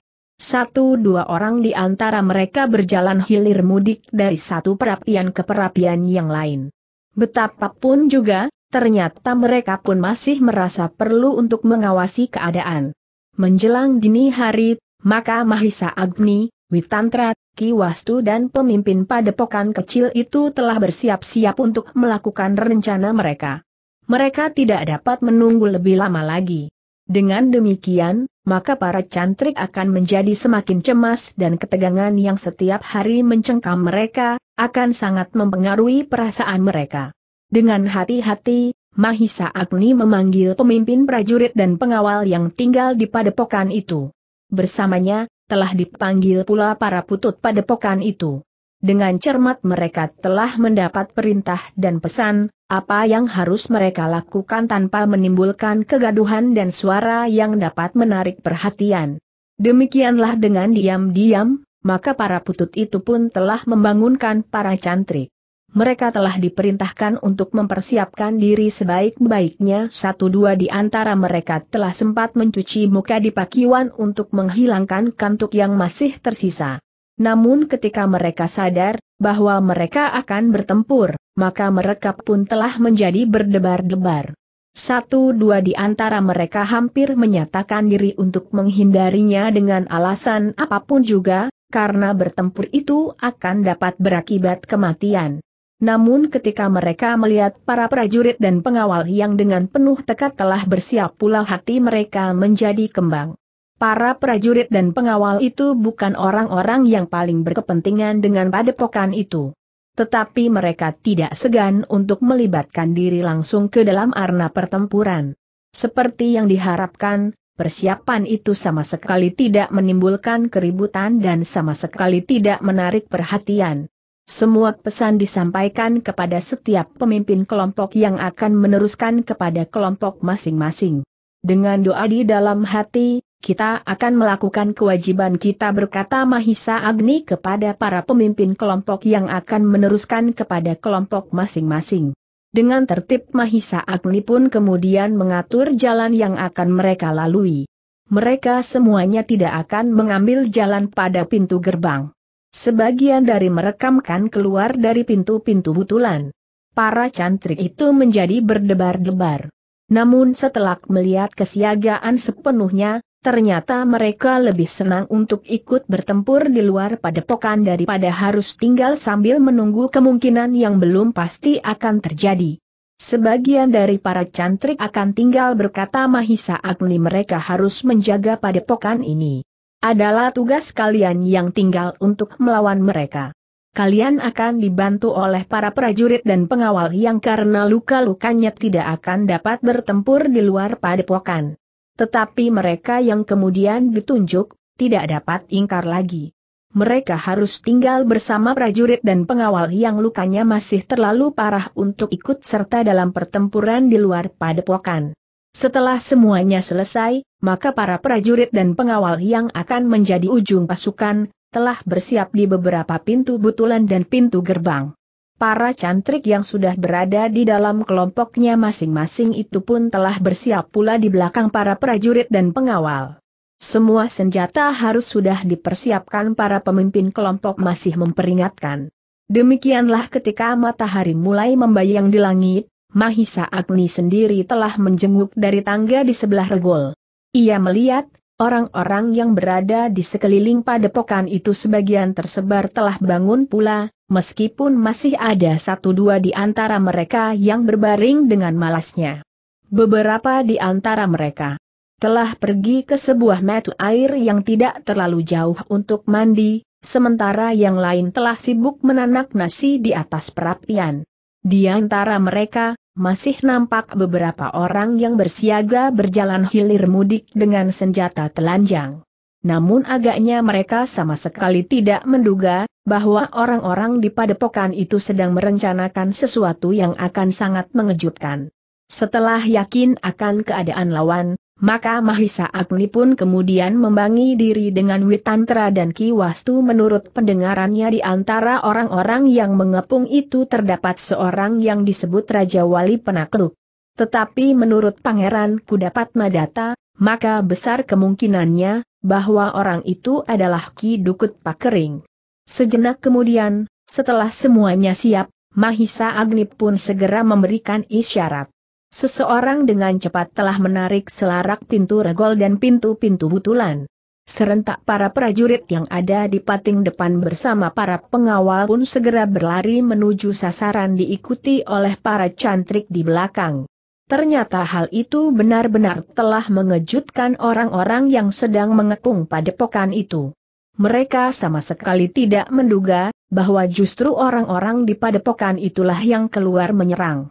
Mereka menyangka, bahwa setelah hari-hari yang tegang itu, orang-orang di dalam padepokan kecil itu akan menjadi bingung, cemas, ketakutan dan akhirnya mereka akan menjadi putus asa. Namun tiba-tiba mereka melihat satu penyataan yang berlawanan sama sekali. Para penjaga yang siap dengan senjata di tangan, segera berteriak memberikan isyarat kepada kawan-kawannya. Namun justru teriakan itu telah mengejutkan dan membuat mereka menjadi kebingungan. Namun, akhirnya mereka pun menyadari, bahwa mereka harus berbuat sesuatu. Berlari-larian mereka segera menempatkan diri. Yang sedang berada di perapian, segera meloncat meraih senjata masing-masing dan menariknya dari sarungnya. Sementara yang sedang mandi pun dengan tergesa-gesa telah mempersiapkan dirinya dan menggapai senjata masing-masing pula. Tetapi kesiagaan yang tergesa-gesa itu ternyata mempengaruhi sikap dan ketahanan hati mereka. Ketika para prajurit dan pengawal mencapai tempat mereka, maka masih belum siap seluruhnya, sehingga pada benturan pertama, orang-orang yang mengepung padepokan itu telah terdesak.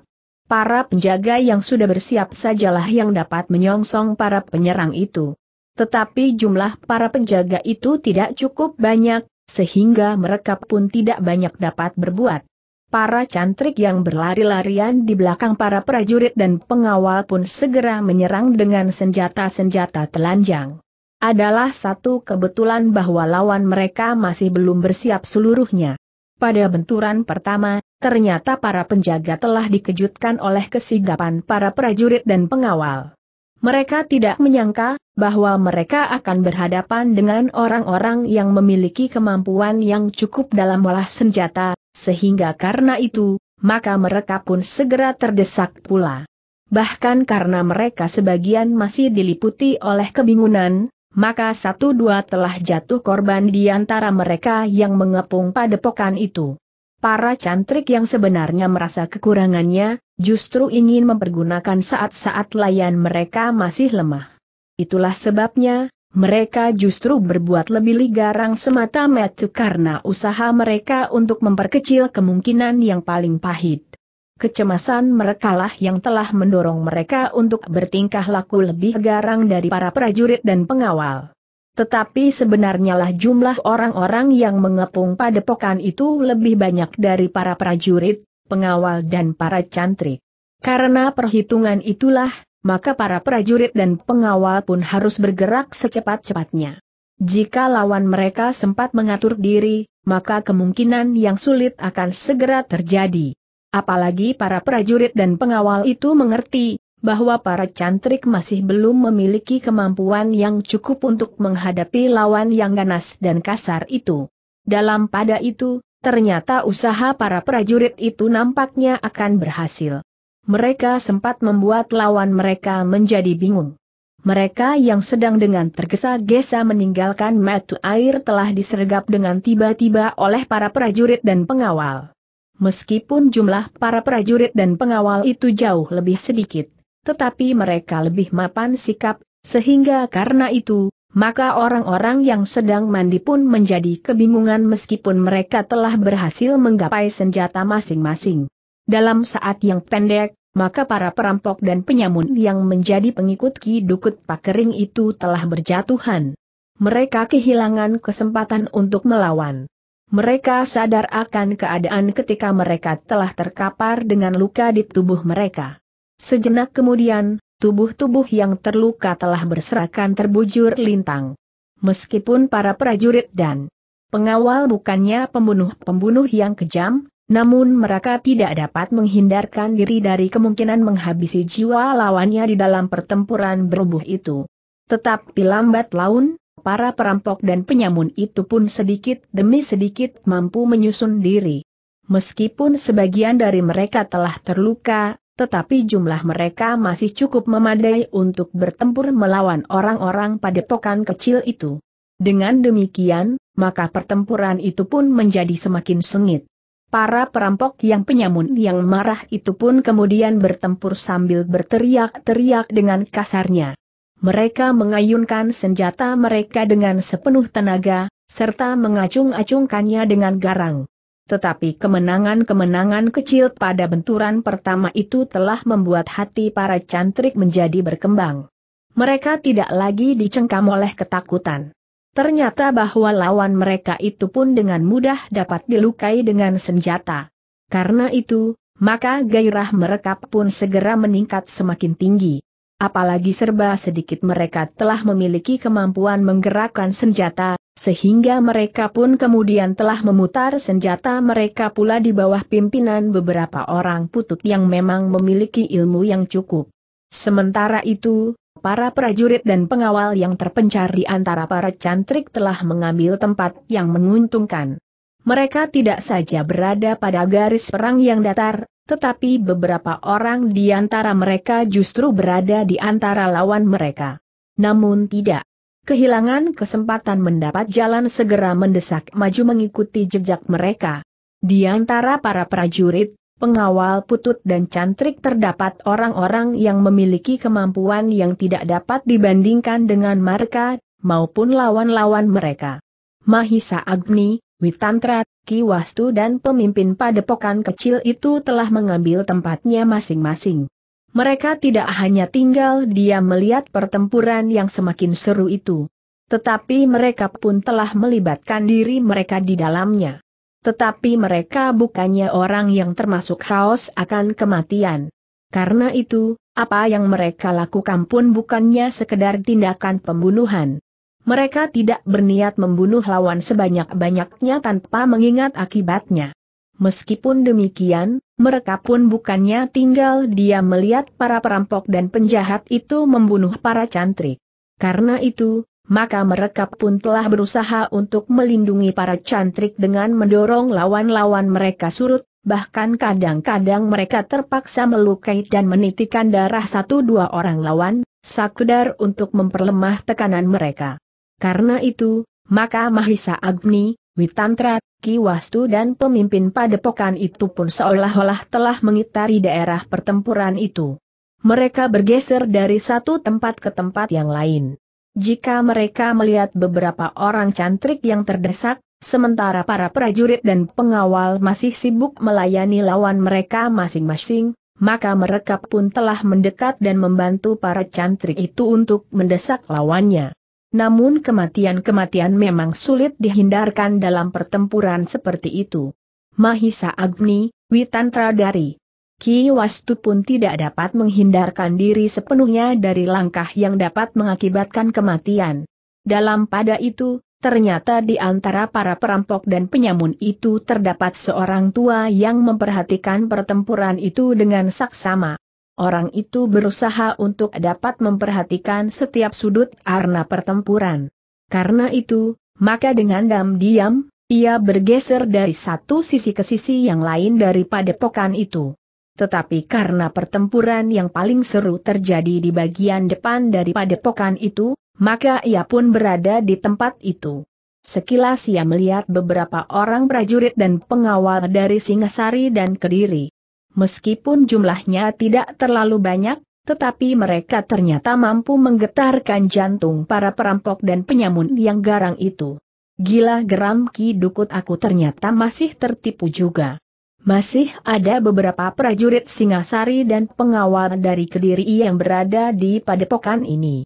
Jumlah mereka ternyata masih cukup banyak untuk mempengaruhi keadaan.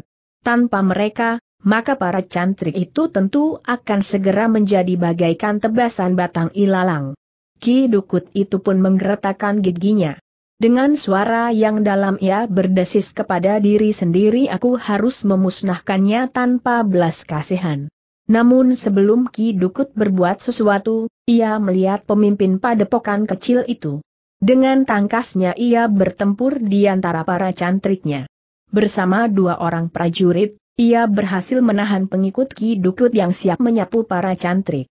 Orang inilah yang lebih dahulu harus dimusnahkan berkata Ki Dukut di dalam hatinya.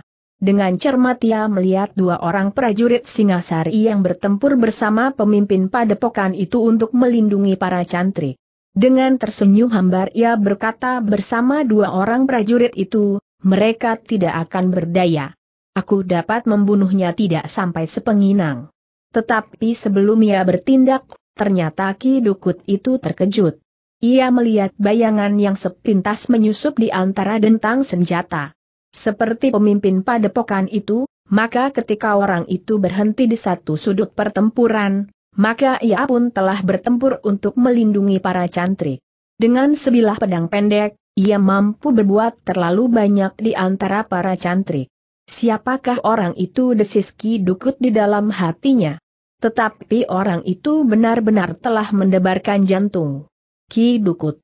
Orang itu mampu bertempur dengan sikap yang aneh. Sekali-sekali ia mendesak lawannya, namun kemudian ia seakan-akan telah menahan senjatanya. Apakah ia orang gila bertanya Ki Dukut di dalam hatinya ia mampu membunuh berapa orang saja yang dikehendakinya. Tetapi ia tidak melakukannya. Ki Dukut memandang orang itu dengan debar di dadanya, orang itu lebih berbahaya dari pemimpin padepokan kecil itu. Dengan demikian, maka Ki Dukut pun berkata di dalam hatinya aku akan menyelesaikan orang itu lebih dahulu. Karena itulah maka Ki Dukut pun kemudian dengan diam-diam mendekati orang itu, menyusup di antara orang-orangnya. Ketika orang itu bergeser ia pun mengikuti pula, sehingga akhirnya orang itu telah berada di arena pertempuran di sisi padepokan itu. Sejenak Ki Dukut menunggu. Kemudian ia pun bergeser lagi. Ia ingin memancing perhatian orang itu. Katanya kepada diri sendiri jika aku membunuh cantrik sebanyak-banyaknya, maka orang itu tentu akan datang kepadaku. Karena itulah, maka Ki Dukut pun menggeram. Dengan lantang ia berteriak sambil meloncat ke arna. Di tangannya telah tergenggam sebilah pedang yang siap untuk membantai cantrik-cantrik yang masih belum memiliki kemampuan yang cukup, apalagi berhadapan dengan orang yang bernama Ki Dukut Pakering. Suaranya memang telah menarik perhatian. Orang yang diikuti oleh Ki Dukut itu pun masih berjarak beberapa puluh langkah. Sementara Ki Dukut sempat untuk melakukan pembantaian agar lawan-lawannya menjadi ngeri dan terpengaruh.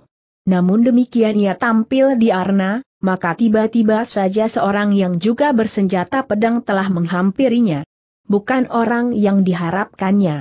Jangan menakut-nakuti anak-anak desis orang itu. Apakah kau sebenarnya?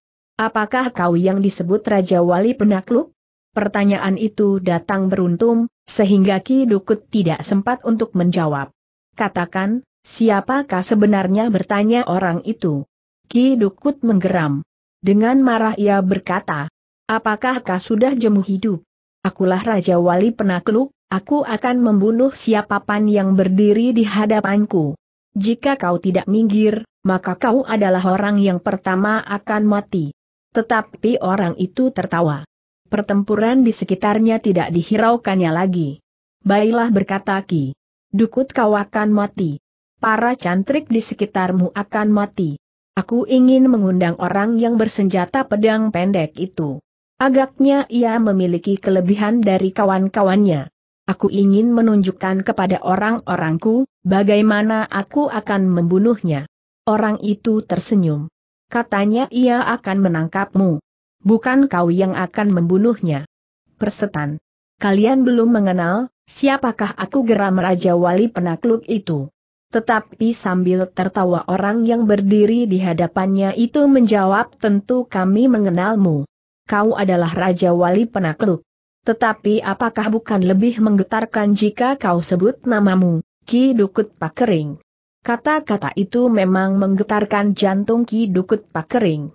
Dengan suara bergetar ia berkata siapa kau, bahwa kau tahu siapakah sebenarnya aku. Orang itu menarik nafas dalam-dalam. Namun kemudian katanya aku adalah orang yang sama sekali tidak banyak dikenal. Aku bernama Witantra. Sedangkan orang yang ingin kau tarik perhatiannya itu bernama Mahisa Agni. Ki Dukut mengerutkan keningnya. Namun tiba-tiba ia bergumam kalian orang-orang Singasari? Ya. Apakah kau pernah mendengar namaku bertanya Witantra? Persetan dengan orang-orang Singasari apakah kepentinganmu dengan padepokan ini sehingga kalian berada di sini bertanya Ki Dukut dengan geram. Tidak ada kepentingan khusus. Tetapi seperti orang-orang lain di telatah Singasari, kita akan saling menolong jawab Witantra. Ki Dukut itu pun menggeram. Lalu katanya baiklah. Aku justru berterima kasih bahwa aku akan dapat menunjukkan bahwa orang-orang Singasari bukannya orang-orang yang penunjul tanpa dapat dikalahkan, seolah-olah Singasari adalah pengejauhan tahan dari istana para dewata yang memiliki kelebihan tanpa batas. Ah, kau keliru. Orang-orang Singasari tidak pernah merasa dirinya seperti itu. Kami adalah orang-orang biasa. Tidak lebih, tetapi juga tidak kurang. Karena itu, berhadapan dengan orang-orang lain, kami merasa diri kami sederajat dalam banyak hal. Juga dengan seorang yang bernama Ki Dukut Pakering. Gila geram Ki Duku ternyata bahwa aku akan membunuh orang-orang Singasari yang berada di sini, seorang demi seorang. Tetapi jika kau keberatan, ajaklah kawan-kawanmu yang ada di sini untuk bertempur berpasangan melawan Ki Dukut Pakering. Witantra menjeleng sambil menjawab tidak usah orang lain. Kita akan berhadapan hanya berdua saja. Jangan sombong orang Singasari. Kau bukan apa-apa bagi Ki Dukut Pakering jawab Ki Dukut. Witantra tidak menyaut. Ia pun kemudian bersiap menghadapi segala kemungkinan, Sementara, pertempuran masih berlangsung dengan sengitnya. Para prajurit dan pengawal sibuk melayani para perampok dan penyamun yang semakin terdesak. Sementara beberapa orang yang lain masih harus bertempur bersama para cantrik yang belum memiliki bekal cukup. Namun, ternyata bahwa para cantrik itu pun sudah mampu untuk melindungi diri sendiri terhadap serangan para penyamun yang kasar. Untunglah, bahwa di padepokan gambaran tentang kekasaran itu telah pernah mereka dengar. Para prajurit pun pernah mengajari mereka dengan laku yang kasar, agar para cantrik tidak terkejut apabila mereka harus berhadapan dengan perampok dan penyamun.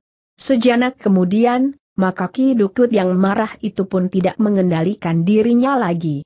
Dengan garangnya ia pun segera meloncat menyerang orang yang menyebut dirinya Witantra itu. Demikianlah, maka pertempuran yang dahsyat pun tidak dapat dihindarkan lagi. Dua orang yang memiliki kemampuan raksasa tahu bertemu di arena pertempuran. Ki Dukut Pakering yang menyebut dirinya Raja Wali penakluk itu adalah orang yang luar biasa. Ia telah menggetarkan hati Pangeran Kudep pada Madata dan adiknya, sehingga keduanya telah menyatakan kesediaan mereka untuk menjadi muridnya. Dan ternyata kemudian bahwa kedua pangeran itu berkembang dengan pesatnya. Ki Dukut memang memiliki kemampuan yang luar biasa untuk menempa kedua pangeran kakak beradik itu, sehingga keduanya telah menjadi dua orang yang pilih tanding di antara para bangsawan di Kediri. Namun dalam pada itu, Ki Dukut yang jarang sekali terbentur pada ilmu yang setingkat itu, terkejut ketika benturan-benturan ilmu kemudian meningkat semakin seru. Ternyata orang Singasari yang bernama Witantra itu benar-benar memiliki bekal yang cukup untuk menghadapinya. Bukan saja dalam keterampilan dan kecepatan gerak, tetapi ketika ilmu mereka saling berbenturan, maka mereka pun saling menyadari bahwa pertempuran yang terjadi itu adalah pertempuran yang akan berlangsung sangat seru. Meskipun pada benturan pertama keduanya masih belum mengerahkan segenap kemampuan mereka, namun setingkat demi setingkat ilmu mereka pun segera berkembang. Ki Dukut yang dibakar oleh dendam karena kegagalan-kegagalan yang pernah dialaminya itu pun segera berusaha untuk menumpahkan segala sakit hatinya kepada orang yang bernama Witantra itu. Setelah ia menyelesaikannya, maka Ki Dukut akan segera membunuh orang-orang lain, sehingga orang terakhir dari padepokan itu pun akan dibantainya. Tetapi ternyata bahwa ilmunya telah membentur kemampuan ilmu yang tidak mudah ditembusnya. Witantra yang menjadi tegang juga mengalami tekanan orang yang bernama Ki Dukut dan menyebut diri Raja Wali penakluk itu, segera berusaha untuk menyesuaikan ilmunya. Ia tidak dapat ingkar, bahwa lawannya adalah benar-benar orang yang pilih tanding guru dari dua orang pangeran kakak beradik yang mumpuni. Karena itulah, maka pertempuran di antara keduanya Allah menggetarkan padepokan kecil itu. Para pengikut Ki Dukut dan para prajurit serta pengawal, apalagi para antrik telah bergeser menjauhinya.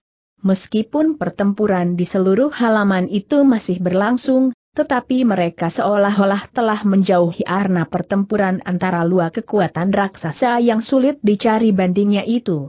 Ki Dukut yang semula merasa tidak terlalu sulit untuk mengakhiri pertempuran itu, ternyata menjadi semakin panas ketika ilmunya selapis demi selapis dapat diimbangi oleh lawannya.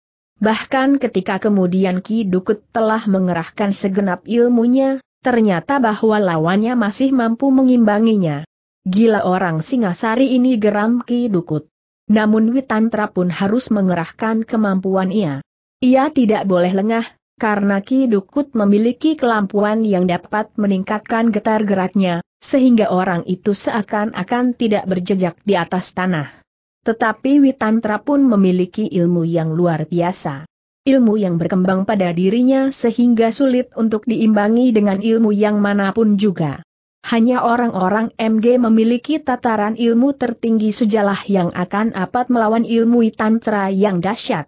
Dengan demikian, maka kedua orang itu seakan-akan telah terpisah dari arena pertempuran dalam keseluruhan.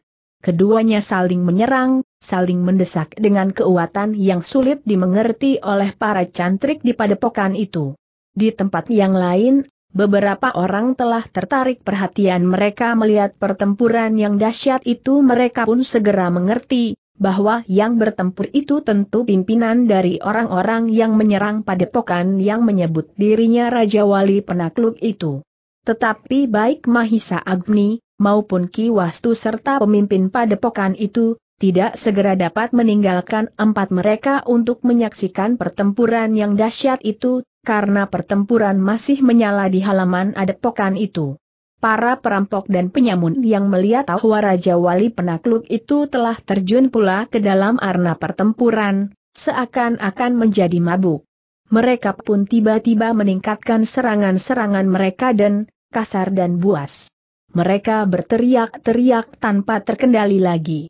Para cantrik mulai dirayapi lagi oleh kengerian lihat sikap orang-orang yang menyerang padepokan. Tetapi jika mereka melihat para prajurit dan pengah yang bertempur dengan gigihnya, maka gairah mereka segera timbul kembali. Mereka sadar bahwa mereka adalah orang-orang yang lebih berkepentingan untuk mempertahankan padepokan itu daripada para prajurit dan pengawal. Sementara itu, Mahisa Agni, Ki Wastu dan pemimpin padepokan yang ingin segera menyelesaikan pertempuri itu, agar mereka berkesempatan untuk menyaksikan pertempuran yang sengit antara Witantra dan Ki Dukut, segera meningkatkan ilmu mereka. Meskipun mereka masih nu batasi diri untuk melumpuhkan lawannya tanpa membunuhnya, namun yang mereka lakukan telah cukup mengagetkan hati para pengikut Ki Dukut.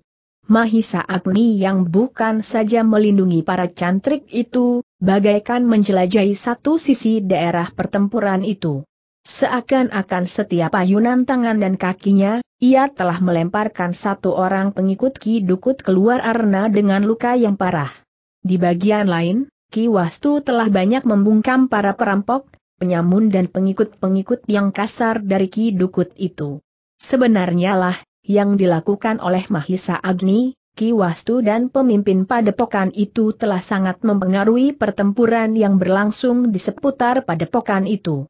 Beberapa orang pengikut Ki Dukut yang bergelar Raja Wali itu telah terdesak sampai ke tempat yang semakin jauh dari padepokan, sementara yang lain justru terdorong ke dinding. Dengan demikian, maka pertempuran itu telah menyebar. Tidak dapat lagi ditarik batas antara kedua pasukan yang sedang bertempur itu. Di halaman luar, padepokan itu telah berserak, lawan dan kawan dari kedua belah pihak. Beberapa orang yang tinggal di dalam lingkungan dinding padepokan, masih sempat menjenguk pertempuran yang terjadi di luar dinding padepokan itu. Sejenak mereka telah terpukau melihat Arna yang menebar. Namun mereka pun kemudian melihat, betapa dua orang yang memiliki kemampuan yang luar biasa telah terlibat dalam pertempuran yang dahsyat. Tetapi orang-orang yang mendapat perintah untuk tetap tinggal di dalam itu, tidak dapat meninggalkan tugas mereka. Beberapa orang cantrik dan prajurit serta pengawal yang dianggap masih terlalu lemah untuk bertempur di arena yang kasar dan buas. Namun, akhirnya para pengikut Ki Dukut itu pun menjadi semakin cemas. Mereka mulai merasa terdesak dan mengalami kesulitan untuk mempertahankan diri tetapi karena pemimpin mereka masih bertempur dengan sengitnya, maka mereka pun masih tetap berusaha untuk bertahan. Meskipun pertempuran itu sudah menebar semakin luas, namun ternyata kekasaran dan keliaran para perampok dan penyamun itu masih mampu membuat para cantrik menjadi ngeri.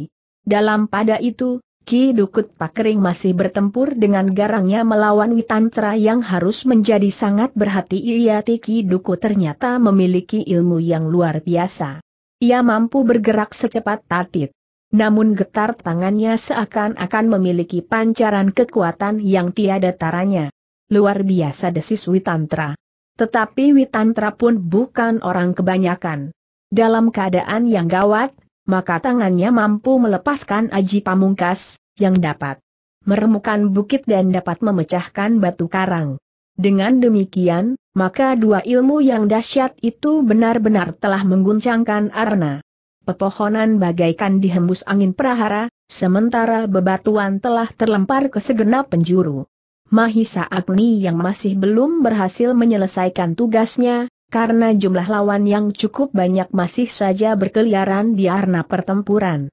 Namun daerah pertempuran yang menebar itu seakan-akan telar memperluas daerah yang harus dijelajahinya untuk melindungi para cantrik dari kekasaran para perampok dan penyamun itu. Dalam pada itu, apa yang terjadi di arena itu, ternyata sempat pula diamati oleh Ki Dukut Pakering. Betapa dendam dan kemarahan menghentak-hentak di dadanya, namun ia tidak dapat mengingkari kenyataan, apa yang telah terjadi di halaman luar padepokan itu. Di dalam hati ia telah mengumpat-umpat, betapa ia sendiri telah menjadi lengah. Justru orang-orang di dalam dinding padepokan itulah yang telah keluar menyerang pada saat-saat yang tidak diduganya. Dengan demikian, maka pada benturan pertama, isi padepokan itu telah berhasil mendesak orang-orangnya dan menjatuhkan korban yang menentukan bagi pertempuran-pertempuran berikutnya. Sambil bertempur, Ki Dukut sempat membuat pertimbangan. Agaknya ia masih belum ingin mati atau terhenti, sebelum ia berhasil melepaskan dendamnya atas lawan bebuyutannya apalagi setelah muridnya yang berhasil dipengaruhinya dan berdiri di pihaknya telah terbunuh, sementara muridnya yang lain, bagi Ki Dukut, ternyata telah berkhianat. Sejenak Ki Dukut masih bertempur terus. Namun ia sudah mulai membuat perhitungan-perhitungan lain. Ia berusaha menggeser arena pertempuran itu semakin jauh dari dinding padepokan, mendekati pategalan dan padang perdu yang berada di sekitar padepokan itu. Mula-mula Witantra sama sekali tidak menduga, apakah yang akan dilakukan oleh Ki Dukut. Karena ia harus memusatkan perlawanannya kepada orang yang memiliki ilmu yang tinggi itu, maka ia tidak melihat kemungkinan yang dapat dilakukan oleh lawannya. Bahkan Witantra sama sekali tidak menduga, bahwa orang yang berilmu tinggi itu akan berbuat licik dan merendahkan harga dirinya. Tetapi Ki Dukut tidak menghiraukan harga diri lagi. Yang menjadi tujuannya adalah lepasnya dendam yang justru semakin bertimbun di dalam hatinya. Aku tidak mau mati dalam timbunan dendam seperti ini geram Ki Dukut Pakering di dalam hatinya. Karena itulah, maka ia telah menyusun satu kesempatan untuk melepaskan diri dari arna pertempuran. Adalah tidak diduga sama sekali oleh Witantra yang masih menghargai lawannya sebagai seorang jantan yang berilmu tinggi, bahwa tiba-tiba saja Ki Dukut Pakering itu telah meneriakan aba-aba yang melengking memenuhi arna pertempuran. Bahkan orang-orang yang berada di dalam lingkungan dinding padepokan pun dapat mendengarnya. Karena itulah, maka sejenak kemudian, Arna itu pun menjadi kisruh. Para pengikutnya tidak lagi memikirkan, bagaimana sebaiknya yang mereka lakukan. Tetapi mereka pun segera mencoba untuk melepaskan diri dari arna pertempuran yang sangat mendebarkan itu. Ternyata suasana itulah yang memang dikehendaki oleh Ki Dukut Pakering. Dalam keadaan yang kisruh dan tidak menentu itulah, maka ia pun telah meninggalkan lawannya dan berbaur dalam suasana itu, apalagi sejenak kemudian mereka telah terbenam dalam ribunya pepohonan di hutan perdu dan pategalan.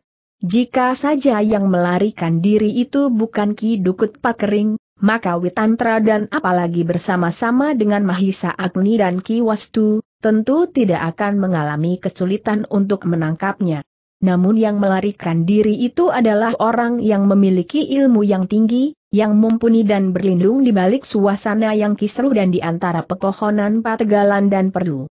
Dengan demikian maka Witantra merasa, bahwa tidak akan ada gunanya untuk mengejarnya. Namun dalam pada itu, yang dilakukan oleh Witantra, Mahisa Agni, Ki Wastu dan pemimpin padepokan itu adalah berusaha untuk menenangkan para cantrik yang merasa telah memenangkan pertempuran itu. Mereka mengejar para perampok dan penyamun pengikut Raja Wali penakluk itu dengan senjata teracu. Bahkan kadang-kadang mereka benar-benar telah mengayunkan senjata mereka ke arah lawannya yang sedang berusaha untuk melarikan diri itu. Tetapi Mahisa Agni, Witantra, Ki Wastu dan pemimpin padepokan itu pun menjadi cemas, bahwa apabila para cantrik itu mengejar lawannya semakin jauh terpisah dari kawan-kawannya, maka jika orang yang dikejarnya itu kemudian berbalik dan melawannya, maka cantrik itu tentu akan mengalami kesulitan.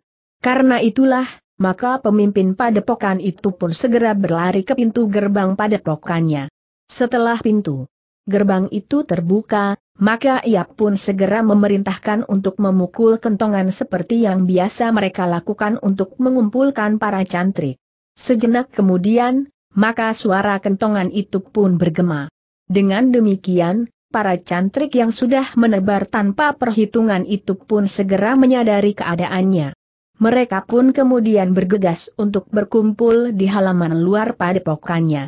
Sementara itu, para prajurit, pengawal dan para cantrik termasuk putut-pututnya telah berkumpul. Para prajurit dan pengawal yang dengan sadar menghadapi keadaan terakhir, telah berhasil menawan beberapa orang lawan. Selebihnya mereka yang terluka parah dan tidak mampu lagi melarikan diri akan menjadi tawanan pula. Bahkan akan menjadi beban bagi padepokan kecil itu. Selintas terbayang kembali peristiwa yang telah terjadi. Di saat para prajurit dan pengawal membawa para tawanan ke Kediri. Tiba-tiba saja mereka telah disergap oleh pasukan yang dipimpin orang yang menyebut dirinya Raja Wali Penakluk. Tetapi para prajurit dan pengawal itu tidak akan dapat mengambil kesimpulan, bahwa sebaiknya setiap orang yang tertangkap akan dibinasakan saja untuk menghindari persoalan yang pernah terjadi namun mereka harus berpegangan kepada martabat kemanusiaan mereka dalam hubungan mereka dengan sesama. Karena itulah, maka sekali lagi padepokan itu dihuni oleh beberapa orang yang dapat mereka tawan dalam pertempuran yang terjadi di luar dinding padepokan itu. dalam keadaan terluka maupun yang sama sekali tidak tergores seujung duri pun oleh senjata lawan di medan pertempuran itu. Demikianlah, maka para prajurit, pengawal dan para cantrik segera membenahi padepokan yang baru saja dibakar oleh api pertempuran itu. Pertempuran yang bagi Ki Dukut dan para pengikutnya, telah sangat mengejutkan. Yang tidak mereka sangka sama sekali telah terjadi. Justru orang-orang dari dalam dinding padepokan, yang mereka sangka sedang menggigil ketakutan itu, telah menyerang mereka dengan tiba-tiba. Namun dalam pada itu, sekali lagi Ki Dukut Pakering berhasil melepaskan diri. Pada jarak yang cukup jauh, ia masih sempat berusaha mengumpulkan sisa orang-orangnya yang sudah terkoyak dan tercerai-berai. Kita akan kembali berkata Ki Dukut aku yakin, mereka belum mengetahui tempat kita. Kita akan melakukan segala macam usaha dalam waktu yang sangat singkat beberapa orang pengikutnya pun segera dengan tergesa-gesa kembali bersama Ki Dukut. Bahkan beberapa orang yang tercerai-berai telah langsung menuju ke persembunyian mereka tanpa menghiraukan orang-orang lain di antara mereka. Orang-orang yang tertawan tentu dapat menunjukkan persembunyian kita berkata Ki Dukut Pakering yang dikenal bergelar Raja Wali Penakluk karena itu, kita harus segera mengambil langkah. Meskipun aku tahu, mereka tidak akan dengan serta-merta menyusul kita, karena sebenarnya kekuatan mereka pun tidak cukup besar untuk melakukannya.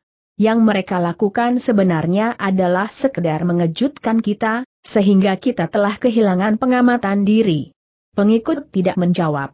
Mereka masih dengan tergesa-gesa kembali ke sarang mereka. Tetapi seperti yang diperhitungkan oleh Ki Dukut, meskipun orang-orang di padepokan itu berusaha untuk mengetahui sarang orang yang menyebut dirinya Raja Wali Penakluk itu, namun mereka pun tidak dapat dengan serta-merta menelusuri jejak lawan mereka. Karena mereka pun harus bertindak dengan hati-hati, dan tidak terjebak oleh perhitungan yang salah seperti yang dilakukan oleh Ki Dukut Pakering. Karena itu, maka ketika Ki Dukut yang bergelar Raja Wali Penakluk itu sampai ke sarangnya, maka ia masih sempat memerintahkan orang-orangnya untuk bersiap-siap memindahkan sarang mereka dengan segala isinya, ke sarang gerombolan yang lain. Bahkan jika mungkin ke tempat yang baru sama sekali. Ada beberapa orang yang sebenarnya agak berkeberatan dengan keputusan Raja Wali Panakluk itu apalagi mereka yang berasal dari gerombolan yang memiliki sarang dan sebagian besar dari barang-barang yang ditimbun di tempat itu. Jika barang-barang itu dipindahkan, mungkin barang-barang itu akan lebur dengan milik gerombolan yang semula berbeda sumbernya. Tetapi Ki Dukut yang bergelar Raja Wali Penakluk itu pun kemudian menjelaskan jika kita bertahan di tempat ini, maka kita akan mengalami kesulitan. Seperti yang aku katakan, bahwa orang-orang kita yang tertawan akan dapat menunjukkan tempat kita. Mungkin setelah mereka berhasil mengumpulkan kekuatan mereka, maka mereka akan datang kemari. Jika mereka datang dengan pasukan yang ada di padepokan itu beserta para cantrik, maka mereka akan binasa di sini. Tetapi jika mereka sempat memanggil beberapa orang prajurit dan pengawal dari Kediri dan Singasari, maka kitalah yang akan binasa. Sementara milik kita akan mereka rampas. Orang-orang yang semula berkeberatan, akhirnya harus menerimanya pula. Namun mereka berpendapat, bahwa lebih baik mereka mencari tempat yang baru sama sekali. Jika kita hanya berpindah tempat dari sarang ini ke sarang yang lain, maka kemungkinan besar, orang-orang itu akan menelusuri jejak kita. Orang-orang yang mereka tawan tentu akan menunjukkan satu demi satu tempat-tempat yang mungkin kita pergunakan sebagai tempat persembunyian. Karena itu, sebaiknya kita mencari tempat yang baru sama sekali. Kita dapat mempergunakan goa di lereng bukit di tebing-tebing sungai, yang justru dekat dengan air. Atau di tengah hutan yang lebat, sehingga jika kita inginkan binatang buruan, kita tinggal duduk di muka barak sambil menarik busur berkata salah seorang dari pengikutnya. Ki Dukut yang bergelar Raja Wali Penakluk itu pun mengangguk-angguk. Sebenarnya lah bahwa ia pun mengerti, ada beberapa keberatan bagi salah satu gerombolan yang telah menjadi pengikutnya untuk menggabungkan milik mereka dengan milik gerombolan yang semula terpisah itu. Baiklah berkata Raja Wali penakluk masih ada waktu untuk mencari tempat. Aku kira kita mempunyai waktu sekitar 2-3 hari. Orang-orang padepokan itu tentu akan membenahi diri lebih dahulu. Baru kemudian, jika menurut perhitungan mereka, mereka akan dapat mengatasi, mereka akan datang kemari. Tetapi jika mereka tidak yakin untuk melakukannya, maka barulah pada saat lain mereka akan datang bersama orang-orang Kediri dan Singasari. Orang-orangnya pun mengangguk-angguk. Mereka mengerti sepenuhnya apa yang dikatakan oleh Ki Dukut yang bergelar Raja Wali Penakluk itu. Namun seperti yang dikatakan oleh Ki Dukut, mereka tidak perlu terlalu tergesa-gesa. Di hari berikutnya, setelah orang-orangnya berkumpul seluruhnya, termasuk mereka yang terluka tetapi sempat melarikan diri, mulailah Ki Dukut membagi tugas. Beberapa orang yang sama sekali tidak cedera di dalam pertempuran yang baru saja terjadi, telah diperintahkannya untuk mencari tempat yang penting bagi pusat kekuasaannya di antara para perampok dan penyamun itu. Mereka dipecah menjadi empat kelompok yang akan berjalan ke arah empat meter angin. Aku beri kalian waktu empat hari perjalanan berangkat dan kembali berkata Ki Dukut dapat atau tidak dapat, kalian harus kembali pada hari keempat. Dua hari kalian berjalan mencari, dan dua hari kemudian perjalanan kalian kembali. Jarak itu sudah cukup jauh dari tempat ini, sementara menurut perhitunganku, selama empat hari, masih belum terjadi sesuatu di tempat ini. Meskipun demikian, Ketika orang-orang itu telah berangkat ke arah empat meter angin dengan bekal secukupnya, maka Ki Dukut pun telah memerintahkan penjagaan di segala arah pula. Kita harus mengawasi keadaan. Kita harus membagi diri selama sehari semalam terus-menerus. Mungkin orang-orang gila itu akan menyergap kita, seperti yang dilakukannya tanpa kita duga-duga sebelumnya itu berkata Raja Wali penakluk itu kepada orang-orangnya. Demikianlah, maka para pengikut Ki Dukut itu telah membagi tugas dengan cepat. Mereka harus mengawasi setiap arah di setiap saat, agar mereka tidak lagi dapat disergap dengan tiba-tiba. Karena itu, maka para pengawas itu pun telah dilengkapi dengan alat dan tanda-tanda untuk mengirimkan isyarat. Mereka membawa panah api atau panah sendaren. Tetapi mereka pun telah membawa kentongan pula. Dalam pada itu, Ki Dukut sendiri menjadi semakin berprihatin mengalami kegagalan yang langsung terjadi di depan hidungnya. Kepercayaannya kepada para perampok dan penyamum pun telah hampir lenyap sama sekali. Para perampok yang kasar itu ternyata tidak banyak dapat membantunya. Mereka masih belum memiliki kemampuan yang memadai, jika mereka berhadapan dengan prajurit Singasari dan apalagi dengan para senapatinya. Prihatin dan dendam yang bercampur baur di dalam dirinya, telah mendorongnya untuk mencari jalan lain.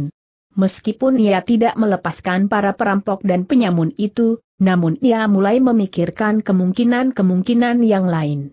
Jika saja ia menempuh satu perjalanan panjang, menemui orang-orang yang dikenalnya meskipun dari golongan hitam sekalipun. Apa boleh buat geramnya dendamku tidak akan dapat lenyap sebelum aku masih sempat merenunginya.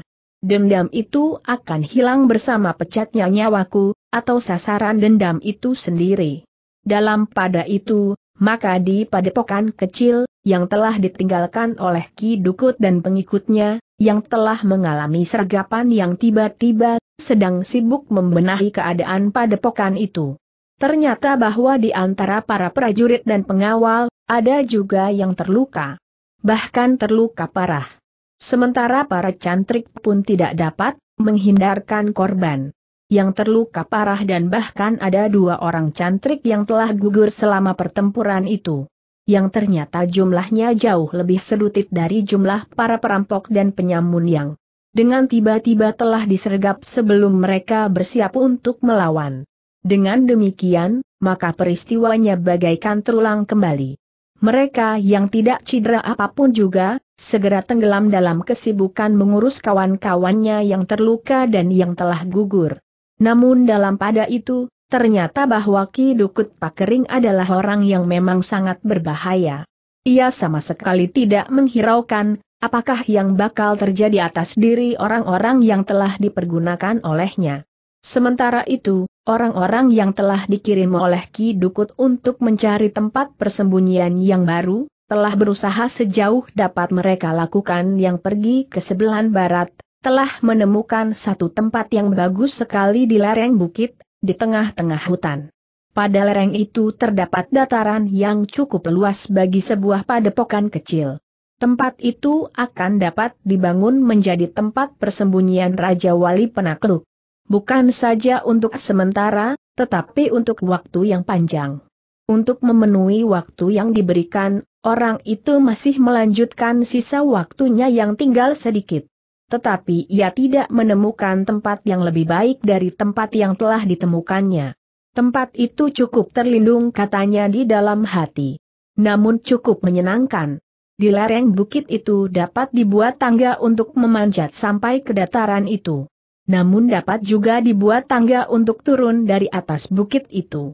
Dalam pada itu, pada saatnya mereka kembali, maka mereka pun kembali dengan keyakinan bahwa tempat yang diketemukannya adalah tempat yang paling baik.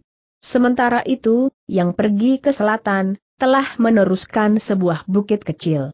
Tidak mudah untuk memanjat. Di beberapa bagian terdapat lereng-lereng terjal. Namun dengan sedikit ketekunan, akan dapat dibuat tangga yang bersusun beberapa tingkat mendaki sampai ke puncak. Di puncak bukit itu terdapat sebuah dataran yang tidak terlalu luas, yang nampaknya akan dapat ditanami dengan beberapa jenis pepohonan. Yang lebih meyakinkan bagi mereka adalah sebuah mata air yang cukup besar dan jernih. Raja Wali penakluk itu tentu akan berkenan di hati berkata orang itu. Karena itulah, maka mereka pun dengan tergesa-gesa telah kembali. Mereka berpendapat, bahwa semakin cepat mereka meninggalkan sarang mereka yang lama, akan menjadi semakin baik. Yang pergi ke arah timur, telah menemukan sebuah belumbang di celah-celah lereng yang terjal. Memang agak sulit untuk mencapai tempat itu. Tetapi tempat yang agak tersembunyi itu akan memberikan perlindungan yang mapan. Untuk mencapai tempat itu, seolah-olah telah dibuat dua buah pintu kedua arah yang berlawanan. Dalam keadaan bahaya, maka kedua pintu itu akan dapat ditutup. Tetapi jika perlu, maka satu pintu akan dapat dijadikan pintu rahasia untuk melarikan diri apabila tidak ada jalan lain yang dapat ditempuh. Tidak ada tempat yang lebih tenang dan aman dari tempat ini berkata orang-orang yang menemukannya. Sementara itu belumbang itu akan memberikan lauk yang tidak akan ada habisnya. Sementara mereka menghabiskan waktunya di tempat itu, ternyata mereka sempat menangkap ikan belumbang yang tersembunyi itu. Belumbang yang tidak pernah dijamah oleh tangan manusia. Namun dalam pada itu, di belumbang itu terdapat ikan yang tidak terhitung jumlahnya lari segala macam jenis ikan air tawar. Seluruh permukaan bumi, tidak ada pilihan yang akan melampaui tempat ini berkata orang-orang yang menemukannya itu di antara mereka. Karena itu, maka pada saatnya mereka telah kembali dengan bangga, karena mereka menganggap, bahwa pilihan Raja Wali penakluk tentu akan jatuh kepada penemuan mereka. Kelompok yang keempat adalah mereka yang pergi ke arah utara. Semula kelompok ini merasa ragu-ragu. Apakah mereka akan dapat menemukan tempat yang baik? Karena mereka berjalan di sebuah padang rumput. Sejenak kemudian mereka memasuki hutan perdu yang kering, sehingga tempat itu tidak mungkin akan dapat dijadikan persembunyian yang baik. Namun akhirnya, mereka sampai ke sebuah sungai, sungai yang nampaknya tidak terlampau besar, tetapi juga tidak terlampau kecil. Marilah, kita selusuri sungai ini berkata pemimpin kelompok itu. Adalah di luar dugaan mereka, bahwa akhirnya mereka menemukan sebuah goa di lereng sebuah bukit di pinggir sungai itu. Di muka goa itu terdapat sebuah halaman yang ukup luas. Penemuan itu ternyata telah membuat mereka berbangga. Mereka yakin, tidak ada tempat yang lebih baik dari penemuan mereka itu. Tempat yang tersembunyi, memadai dan di hadapannya air mengalir tanpa kering di musim kemarau.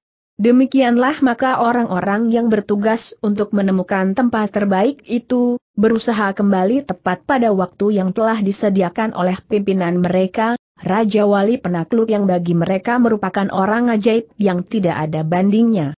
Jika gada suatu saat Raja Wali Penakluk itu harus menghindar dari medan pertempuran, itu karena ia mempunyai pertimbangan-pertimbangan tersendiri yang tidak dapat dimengerti oleh pengikut-pengikutnya. Namun, ketika orang-orang yang merasa dirinya berjasa itu kembali ke tempat mereka yang akan mereka tinggalkan, mereka menjadi kecewa. Dari orang yang dianggap tertua di antara mereka, orang-orang itu mendapat keterangan bahwa Raja Wali Penakluk itu telah pergi meninggalkan mereka.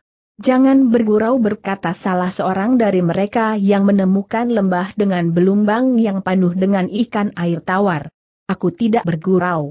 Sebenarnya lah bahwa Raja Wali Penakluk sudah pergi jawab orang tertua itu. Gila. Apakah maksudnya?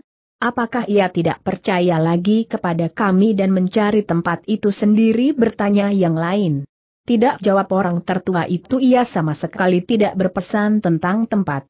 Bahkan ia berkata, agar kita menentukan tempat itu menurut pendapat dan pertimbangan kita bersama. Jadi apa maksudnya bertanya yang lain tidak sabar. Ia telah pergi untuk waktu yang tidak ditentukan. Bukan karena ia takut menghadapi pasukan Singasari atau Kediri, tetapi ia merasa wajib untuk melakukan sesuatu karena dendamnya masih belum dapat ditumpahkannya jawab orang tertua itu. Aku menjadi bingung potong salah seorang dari mereka yang menemukan goa di lereng pinggir sungai itu. Apa maksudnya sebenarnya? Raja Wali penakluk nampak menjadi sangat gelisah, tiba-tiba saja ia memanggil kami dan berpesan, agar kami menentukan tempat itu tanpa menunggunya jawab orang tertua itu. Jika ia kembali bertanya yang lain, ia akan mencarinya. Dan aku pun yakin, hal itu tidak akan merupakan kesulitan baginya jawab, orang tertua itu. Sejenak suasana menjadi tegang. Namun tiba-tiba orang yang menganggap sebuah lereng yang dilindungi oleh hutan itu tempat terbaik, berkata lantang kita pindahkan semuanya ke tempat yang telah aku ketemukan. Tempat yang tidak ada duanya di dunia ini. Omong kosong berkata seorang yang lain aku menemukan sebuah bukit yang paling pantas kita pergunakan sebagai padepokan kita. Bukit yang mempunyai sebuah dataran yang rata dan subur, karena di atas bukit itu terdapat sebuah mata air. Tetapi yang lain memotong kata-kata itu. Mereka berusaha untuk menjelaskan penemuan mereka masing-masing. Mereka menganggap bahwa yang mereka ketemukan masing-masing adalah tempat yang paling baik bagi mereka. Karena itu, maka mereka tidak segera menemukan kesepakatan. Masing-masing berusaha bertahan. Sehingga akhirnya seseorang yang bertubuh tinggi, kekar dan berwajah kasar berteriak persetan dengan semuanya itu. Aku akan kembali ke kelompokku semula. Aku akan melakukan pekerjaanku seperti yang selalu aku lakukan. Aku tidak peduli lagi dengan tempat-tempat yang tidak dikenal itu. Tetapi, karena aku sudah berada di tempat ini, maka aku akan pergi dengan membawa bekal secukupnya. Persetan seorang bertubuh tinggi dan berkumis lebat menyahut bekal apa yang dapat kau bawa? Yang ada di sini adalah milik kelompok kami. Kalian datang untuk mengikuti perintah Raja Wali Penakluk. Bukan untuk mendapat warisan dari kelompok kami. Semua yang ada di sini harus dipindahkan tiba-tiba seorang bertubuh kecil berteriak melengking kalian jangan gila. Semuanya harus dibawa ke suatu tempat yang tidak dikenal, karena semua yang ada di sini akan dapat dirampas oleh orang-orang Singasari dan orang-orang Kediri jika pada suatu saat mereka datang kemari. Biarlah kami sendiri yang memindahkannya geram orang bertubuh tinggi itu persetan. Persetan kami akan kembali ke tempat kami. Tetapi barang-barang ini lebih baik kita bagi teriak orang bertubuh gemuk apa pun yang kalian katakan, kami sudah berada di sini. Tetapi orang bertubuh tinggi itu pun segera meloncat memisahkan diri. Sementara orang-orang yang sekelompok dengan orang itu pun segera berloncatan pula. Karena tempat itu adalah tempat mereka, maka jumlah merekalah yang terbanyak. Tetapi agaknya orang-orang yang berada di tempat itu, yang terdiri dari beberapa kelompok itu, jumlahnya masih lebih banyak lagi apabila mereka akan bergabung. Namun dalam pada itu, orang tertua itu pun berdiri pula sambil berkata kalian sudah gila. Kalian sudah dicangkiti oleh kegilaan kalian yang lama. Hi, apa kalian mengira bahwa Raja Wali penakluk itu tidak akan kembali sama sekali? Jika ia mendengar apa yang telah kalian lakukan di sini, maka ia tentu akan marah. Meskipun kalian merasa bahwa dalam satu kelompok kalian akan dapat melawannya, tetapi kalian harus memikirkan, apakah jadinya, jika kalian seorang demi seorang akan mati tanpa diketahui sebabnya, kapan dan di mana. Karena Raja Wali itu akan dapat berbuat sesuatu di luar kemampuan nalar kita. Kata-kata orang tertua itu ternyata telah menyentuh perasaan orang-orang kasar itu. Bagaimanapun juga mereka masih juga dijalari oleh perasaan takut dan ngeri. Mereka mengakui bahwa Raja Wali penakluk memang orang yang luar biasa. Ia dapat berbuat sesuatu yang sama sekali tidak pernah mereka bayangkan. Karena itu, maka orang bertubuh tinggi itu pun bertanya, lalu apa yang sebaiknya kita lakukan? Seperti yang dipesankan oleh Raja Wali penakluk itu. Berpindah tempat bertanya orang yang bertubuh gemuk. Kita akan memilih salah satu dari keempat tempat yang nampaknya sama-sama baik. Masing-masing mempunyai kelebihan dan kekurangannya jawab orang tertua itu. Jadi, yang manakah yang akan kita pilih bertanya orang bertubuh tinggi? Orang tertua itu termangu-mangu sejenak. Namun kemudian katanya kita akan membicarakan bersama. Tetapi karena kita masing-masing belum melihatnya, kecuali yang menemukannya, maka memang sulit bagi kita untuk membuat perbandingan. Yang sudah melihat pun, baru melihat satu dari yang empat. Kau sajalah yang menentukan berkata seorang yang bertubuh tinggi kekar dan berwajah kasar.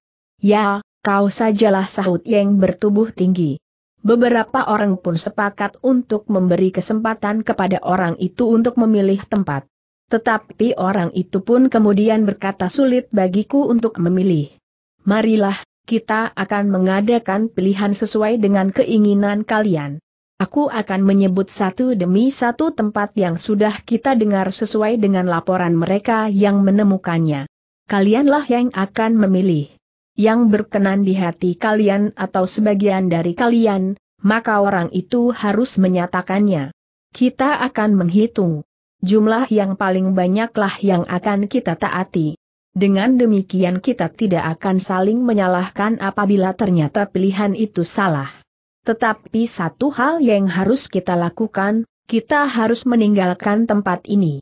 Orang-orang yang berkumpul itu mengangguk-angguk mereka semuanya belum melihat tempat yang akan mereka bicarakan. Karena itu, semuanya hanya berdasarkan pada bayangan dan angan-angan, sesuai dengan pendengaran mereka dari penjelasan masing-masing kelompok yang menemukan tempat-tempat itu. Sejenak kemudian, orang tertua itu sudah mulai. Disebutnya satu demi satu. Dan dihitungnya jumlah orang yang menyatakan perasaannya dan tanggapannya atas tempat-tempat yang disebutnya. Setelah semuanya menyatakan pendapatnya, dan dari hasil pernyataan itu, maka orang tertua itu berhasil menentukan tempat ke mana mereka harus pindah. Kita akan memindahkan sarang ini ke sebuah lembah yang diapit oleh lereng yang tinggi, yang hanya mempunyai dua pintu di ujung dan ujung. Tetapi kita akan mempunyai sebuah belumbang yang akan sangat penting artinya. Bukan karena ikan tawarnya, tetapi air itu agaknya memang tidak akan dapat dipisahkan dari kehidupan kita. Demikianlah, maka telah menjadi keputusan mereka, bahwa sarang mereka akan mereka pindahkan ke tempat yang baru, yang terlindung dari kemungkinan pelacakan jejak oleh para prajurit Singasari atau oleh para pengawal di Kediri. Tetapi ternyata bahwa tidak semua orang akan ikut serta menempati tempat tinggal mereka yang baru yang terutama akan tinggal di tempat itu adalah kelompok yang berada di sarang mereka yang mungkin sekali akan menjadi pusat perhatian para prajurit dan pengawal, karena untuk terakhir kalinya Raja Wali Penakluk berada di tempat itu, dan mempergunakan tempat itu sebagai tempat untuk memberikan perintah terakhir dalam perlawanannya terhadap prajurit Singasari dan para pengawal Kediri. Kami akan kembali ke dalam kelompok kami berkata beberapa orang di antara mereka. Kami datang bersama banyak orang. Tetapi kami akan kembali dalam jumlah yang susut hampir separuh berkata yang lain tetapi kalian tidak akan dapat memisahkan diri berkata orang tertua pada satu saat Raja Wali penakluk itu akan datang. Mungkin ia akan memerlukan kalian, sehingga kalian akan dipanggil. Mungkin kalian, tetapi mungkin orang-orang baru dari kelompok kalian masing-masing. Tidak ada yang akan dapat ingkar. Semua orang hanya dapat mengangguk-angguk kecil. Demikianlah, maka pada satu malam yang ditentukan, Seisi sarang yang sebenarnya sudah cukup tersembunyi itu telah berpindah tempat. Mereka membawa apa saja yang ada di dalam simpanan mereka. Hasil dalam malam-malam perampokan dan saat-saat mereka menyamun di bulak-bulak panjang. Namun setelah semuanya itu disimpan dalam tempat mereka yang baru dalam barak-barak yang mereka dirikan dengan tergesa-gesa, maka sebagian dari orang-orang itu telah kembali ke kelompok masing-masing. Jika Raja Wali penakluk datang kepada kelompok kalian masing-masing, maka kalian akan dapat menunjukkan, di mana kami menunggu berkata orang tertua. Tetapi mungkin pula pada suatu saat, sarang kamilah yang akan didatangi oleh prajurit-prajurit Singasari berkata orang berwajah kasar dan bertubuh tinggi tegap. Kemungkinan itu memang ada, tetapi kecil sekali. Mungkin kawanmu yang tertangkap akan dipaksa untuk menyebut tempatnya. Tetapi aku kira perhatian utama adalah tempat tinggal Raja Wali penakluk itu sendiri jawab orang tertua. Orang berwajah kasar itu mengangguk-angguk. Namun orang tertua itu berpesan meskipun demikian, kalian jangan meninggalkan kewaspadaan. Demikianlah, orang-orang yang berasal dari kelompok-kelompok lain telah kembali. Namun mereka masih tetap menunggu kedatangan Raja Wali Penakluk. Dalam pada itu, di padepokan kecil yang baru saja berhasil mengusir orang-orang yang mengepung padepokan mereka, masih saja selalu sibuk dengan orang-orang mereka yang terluka.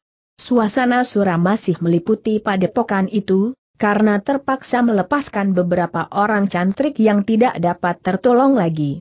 Sementara itu, mereka masih harus mengurus orang-orang yang dapat mereka tangkap. Tetapi juga mereka yang tidak dapat lagi meninggalkan medan karena luka-luka yang parah. Ada semacam dendam di hati para cantrik.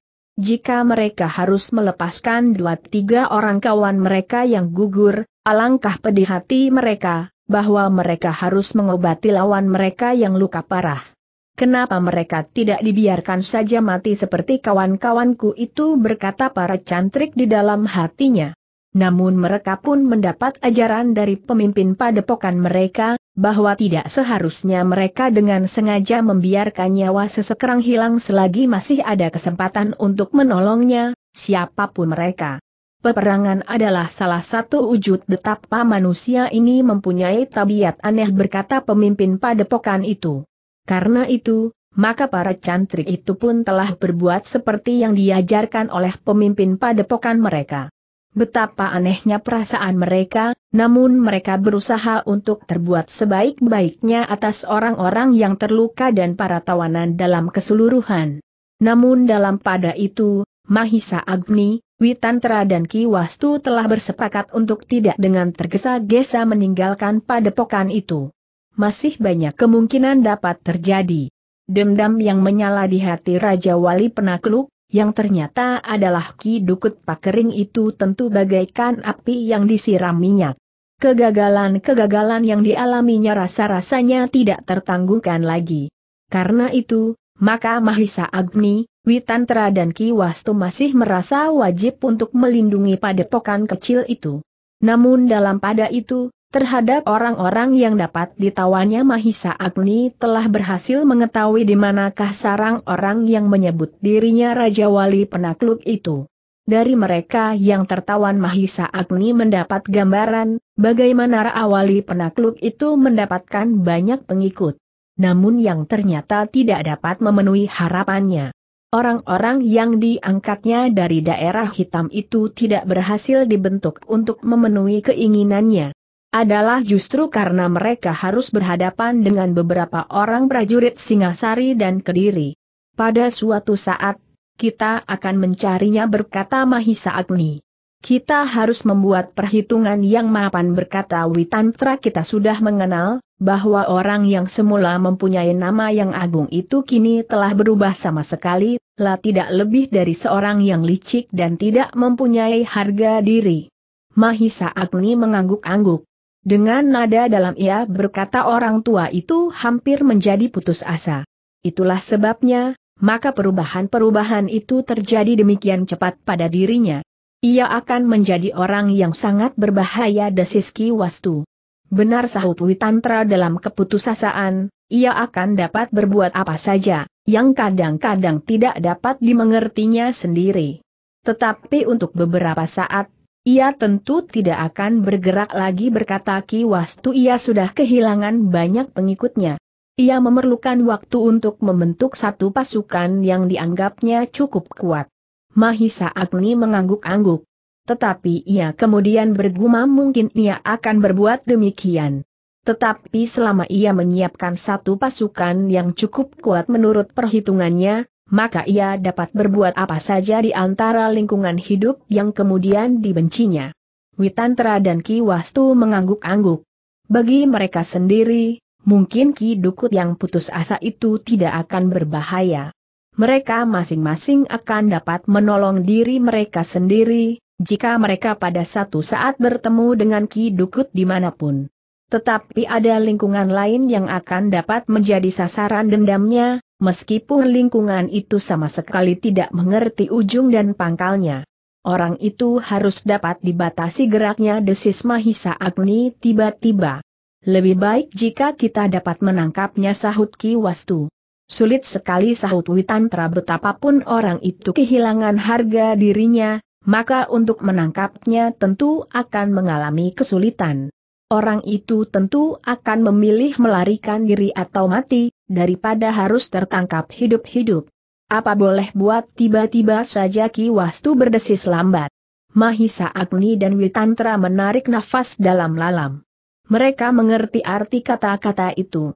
Memang tidak ada pilihan lain apalagi bagi Ki Wastu yang tentu saja nasih terasa betapa pedihnya peristiwa yang menimpa anak perempuannya, justru karena sikap Ki Dukut Pakering.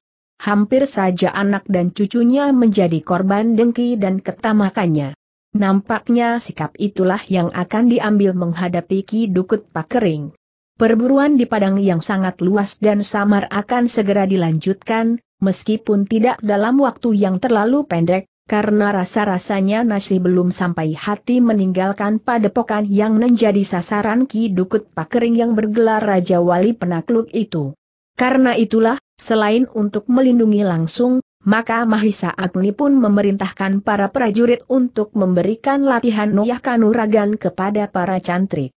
Tetapi Mahisa Agni tidak dapat berada untuk waktu yang tidak terbatas di padepokan itu. Ia pun harus berbuat sesuatu dalam perburuan yang harus dilakukannya. Karena itu, maka Mahisa Agni pun segera mengatur diri. Ia harus segera menghubungi Pangeran Kudep pada Madata di Kediri agar rencana perburuan itu segera dapat dilanjutkan. Akhirnya Mahisa Agni memutuskan untuk pergi ke Kediri bersama Witantra dan tidak lebih dari dua orang pengawal mereka harus dapat berhubungan dengan orang yang telah mendahului mereka ke Kediri. Segalanya akan diatur kemudian apabila Mahisa Agni telah bertemu dengan Pangeran Kudapat Madata. Mahisa Agni tidak menunggu lebih lama. Meskipun kemungkinan yang pahit dapat terjadi di perjalanan, namun tidak ada pilihan lain yang dapat dilakukannya. Sementara Ki Wastu akan tetap berada di padepokan itu bersama beberapa orang prajurit dan pengawal. Menurut perhitunganku, satu-satunya orang-orang yang harus diperhitungkan adalah Ki Dukut Pakering itu seorang diri saja. Karena itu, kehadiran Ki Wastu di padepokan itu akan dapat akan dapat melawan Ki Dukut Pakering, apabila orang itu akan datang kembali. Demikianlah, maka Mahisa Agni dan Witantra pada hari yang ditentukan telah meninggalkan padepokan itu. Mereka dengan laju berkuda menuju ke Kediri. Bagaimanapun juga, mereka harus bersiap menghadapi segala kemungkinan yang dapat terjadi di sepanjang jalan. Namun ternyata bahwa perjalanan mereka sama sekali tidak terganggu. Mereka sampai di Kediri dengan selamat. Ternyata bahwa di Kediri, Pangeran Kudep pada Madata pun telah menyiapkan sepasukan pengawal. Tidak terlalu banyak, tetapi mereka adalah orang-orang pilihan yang akan dilibatkan dalam perburuan di padang yang sangat luas. Ayah masih akan ikut serta berkata Mahisa Bungalan kepada Mahisa Agni. Baiklah, bagaimana dengan adik-adikmu bertanya Mahisa Agni. Mereka tidak mau ditinggalkan. Sebenarnya ayah ingin mengantar mereka kembali ke Singasari. Tetapi mereka lebih senang ikut dalam perburuan ini jawab Mahisa Bungalan yang seolah-olah merasa tidak sabar lagi. Ketika Mahisa Agni bertemu dengan Mahendra yang masih sempat mengurusi barang-barang dagangannya di Kediri, maka katanya kau masih sempat mempergunakan setiap waktu yang bagimu sangat berharga. Mahendra tertawa. Katanya aku tidak dapat duduk terkantuk-kantuk saja di Kediri. Aku mempunyai beberapa orang yang dapat bekerja bersama dengan aku di sini. Hubungan kami sudah lama jika aku datang ke Kediri dengan jenis-jenis batu akik dan wesi aji, maka orang-orang itulah yang aku hubungi mula-mula. Itu adalah wujud dari seorang pedagang yang sebenarnya desis Mahisa Bungalan. Mahisa Agni pun tersenyum. Sementara Mahendra berkata, Aku memang sudah terbiasa mempergunakan setiap waktu yang tertuang. Ah, apakah salahnya jika aku memanfaatkan waktu yang berlebihan di sini? Mahisa Agni pun menjawab tentu tidak ada salahnya. Agaknya Mahisa Bungalan sama sekali tidak mewarisi sifat-sifat seorang pedagang. Ya jawab Mahendra mudah-mudahan adik-adiknya kelak dapat membantu aku. Mahisa Bungalan sama sekali tidak menyaut. Ia tidak tertarik untuk berbicara tentang jual beli batu, akik dan wesi aji. Ia lebih tertarik berbicara tentang Ki Dukut Pakering yang hilang dari pengamatan mereka. Yang mungkin telah keluar dari medan yang diduga sebelumnya oleh mereka yang memburunya. Demikianlah, pada akhirnya Mahisa Agni, Witantra, Mahendra telah berbicara dengan Mahisa Bungalan dan Pangeran Kudep pada Madata tentang perburuan yang akan mereka teruskan mereka bersepakat untuk bertemu lebih dahulu dengan Ki Wastu dan para prajurit serta pengawal yang mereka tinggalkan. Mereka akan mempergunakan segala macam petunjuk dan keterangan dari orang-orang yang dapat mereka tawan untuk mencari jejak Ki Dukut Pakering yang bergelar Raja Wali Penakluk itu. Seperti yang dikatakan oleh Mahisa Bungalan, ternyata kedua adiknya tidak mau ketinggalan. Mereka telah ikut pula bersama ayahnya kembali ke padepokan kecil yang menjadi sasaran pertama dari serangan Ki Dukut Pakering. Dari sanalah perburuan itu akan diatur lebih jauh. Kehadiran kembali Pangeran Kudep pada Madata telah memberikan kegembiraan bagi para prajurit dan pengawal. Mereka merasa kawan-kawan mereka lebih banyak sehingga mereka akan dapat bergantian mengawasi orang-orang yang tertawan. Sebenarnya Mahisa Bungalan rasa-rasanya sudah tidak sabar lagi. Ialah yang bergerak lebih cepat dari orang-orang yang dianggapnya sudah terlalu lamban karena umur mereka yang semakin tua. Kepada para tawanan Mahisa Bungalan mendapat keterangan di mana Ki Dukut bersembunyi dan mengatur pasukannya. Besok aku akan pergi berkata Mahisa Bungalan. Orang-orang yang dianggapnya terlalu tua dan lamban itu tidak dapat mencegah Bersama dengan Pangeran Kudep pada Madata ia telah menyiapkan pasukannya untuk pergi ke tempat persembunyian Ki Dukut Pakering. Jangan hanya berdua berkata Witantra, yang kemudian menyatakan diri untuk ikut bersama kedua anak-anak muda yang ingin dengan segera menemukan tempat Ki Dukut mengatur pasukannya. Ketika matahari terbit di pagi hari berikutnya, maka Mahisa Bungalan dan Pangeran Kudep pada Madata telah bersiap untuk berangkat. Di antara mereka terdapat Witantra yang tidak sampai hati melepas keduanya menghadapi Ki Dukut.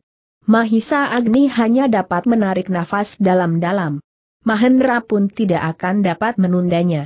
Sehingga karena itu, maka Mahisa Agni, Mahendra, Ki Wastu dan kedua adik Mahisa Bungalan itu melepas pasukan itu sampai ke depan regol padepokan. Pemimpin padepokan itu bersama para putut dan cantrik pun mengantar mereka sampai di luar gol. Mudah-mudahan mereka berhasil desis pemimpin padepokan itu. Dengan demikian, maka ia tidak akan selalu dibayangi oleh kemungkinan-kemungkinan yang pahit jika Ki Dukut datang kepada mereka. Mahisa Bungalan dan Pangeran Kudep pada Madata yang tidak sabar lagi itu pun langsung membawa pasukannya sesuai dengan petunjuk orang-orang yang telah tertawan. Di antara pasukan itu terdapat dua orang dari mereka. Orang itu harus menunjukkan di manakah tempat Ki Dukut bersembunyi. Jangan mencoba mengelabui kami berkata Mahisa Bungalan kepada kedua orang itu. Kedua orang itu tidak menjawab. Namun mereka selalu dibayangi oleh kecemasan. Mereka tidak tahu apa yang akan terjadi setelah pasukan itu sampai ke tempat Ki Dukut yang mereka kenal bergelar Raja Wali Penakluk itu tinggal. Pasukan Raja Wali Penakluk itu pun cukup banyak berkata orang-orang itu di dalam hatinya. Tetapi mereka pun mengakui bahwa para prajurit itu memiliki kemampuan yang lebih tinggi dari kawan-kawannya. Meskipun kawan-kawannya berjumlah lebih banyak, namun agaknya mereka tidak akan dapat melawan.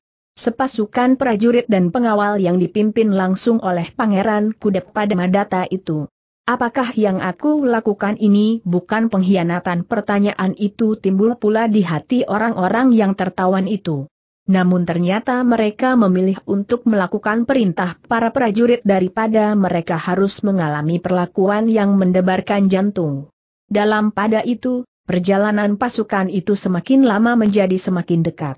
Mereka beristirahat sejenak ketika matahari bagaikan membakar kulit setelah melampaui puncaknya. Namun mereka tidak menghiraukan lagi keringat yang bagaikan terperas dari tubuh mereka. Apakah kita akan mendekati sarang mereka esok pagi bertanya Witantra. Sekarang jawab Mahisa Bungalan.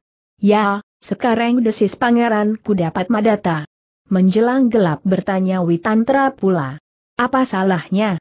Kita akan bertempur malam hari sahut pangeran ku dapat madata. Witantra mengangguk-angguk. Namun katanya kemudian aku sendiri tidak berkeberatan. Aku mampu bertempur tiga hari tiga malam demikian aku sampai diserang mereka. Tetapi entahlah dengan anak-anak itu. Pangeran Kudep pada Madata dan Mahisa Bungalan tertegun, mereka mengerti maksud Witantra yang melanjutkan tenaga mereka telah terperas di perjalanan yang terik. Mereka mendaki tebing dan menuruni jurang. Kalian dapat saja memaksa mereka untuk bertempur. Tetapi aku tidak yakin, bahwa mereka masih memiliki tiga perempat dari kemampuan mereka. Mahisa Bungalan menarik nafas panjang. Sambil memandang Pangeran Kudep pada Madata itu berkata, Apakah kita akan mulai dengan besok pagi-pagi benar Pangeran? Pangeran Kudep pada Madata mengangguk. Jawabnya, Baiklah. Malam ini kita beristirahat di depan sarang mereka, tetapi jangan terjadi seperti yang kita dengar dan mereka yang bernasil menyergap lawan mereka justru sedang menunggui mereka di depan padepokan. Kita akan sempat melihat-lihat, apakah yang sebenarnya kita hadapi berkata Witantra. Dengan demikian, maka ketika mereka mendekati sarang Ki Dukut yang bergelar Raja Wali Penakluk itu, maka pasukan itu pun segera menebar. Mereka tidak mau kehilangan lawan mereka. Karena itu, mereka pun mengawasi sarang itu dari segala arah. Namun, menjelang senja, mereka masih sempat melihat bahwa sarang itu nampaknya terlampau sepi. Mereka tidak melihat tanda-tanda apa pun di muka barak yang terlindung bukit-bukit kecil. Namun yang justru dapat dilihat jelas dari bukit-bukit itu. Sepi sekali desis Mahisa Bungalan. Ya, tetapi apakah memang demikian sahut Pangeran Kudep pada Madata yang mengawasi tempat itu dari atas bukit kecil? Kita panggil kedua orang itu gumam Witantra hampir kepada diri sendiri. Mahisa Bunga Lampun kemudian memerintahkan memanggil kedua orang tawanan yang mereka bawa bersama pasukan itu. Dengan hati-hati keduanya pun mendekati Mahisa Bungalan. Namun seperti orang-orang lain, ia pun merasa bahwa barak itu terlampau sepi. Biasanya tidak demikian berkata kedua orang itu. Apakah kau ingin menjebak kami geram Mahisa Bungalan? Tidak. Sama sekali tidak. Aku mengatakan yang benarnya. Barak itu tidak seperti biasanya. Mahisa Bungalan yang tidak sabar lagi itu pun berata. Marilah. Kita akan melihat. Berhati-hatilah berkata Witantra siapkan pasukanmu. Beberapa orang akan bersama kita. Paman juga akan melihat barak itu berkata Ahisa Bungalan. Ya, aku juga akan pergi jawab Witantra. Demikianlah, maka Mahisa Bungalan, Pangeran Kuda Atmadata dan Witantra, diantar oleh beberapa orang awal, dengan hati-hati mendekati barak yang nampaknya sepi itu. Sementara Mahisa Bungalan mendekati barak, kedua orang tawanan itu pun berada di dalam pengawasan yang ketat. Sedangkan pasukan yang dibawanya pun telah bersiap. Setiap saat diperlukan, mereka akan segera dapat bertindak. Mahisa Bungalan, Pangeran Kudapat Madata, Witantra dan beberapa orang pengawal, dengan hati-hati mendekati barak itu. Selangkah demi selangkah mereka maju. Tangan-tangan mereka sudah siap mencabut senjata apabila diperlukan.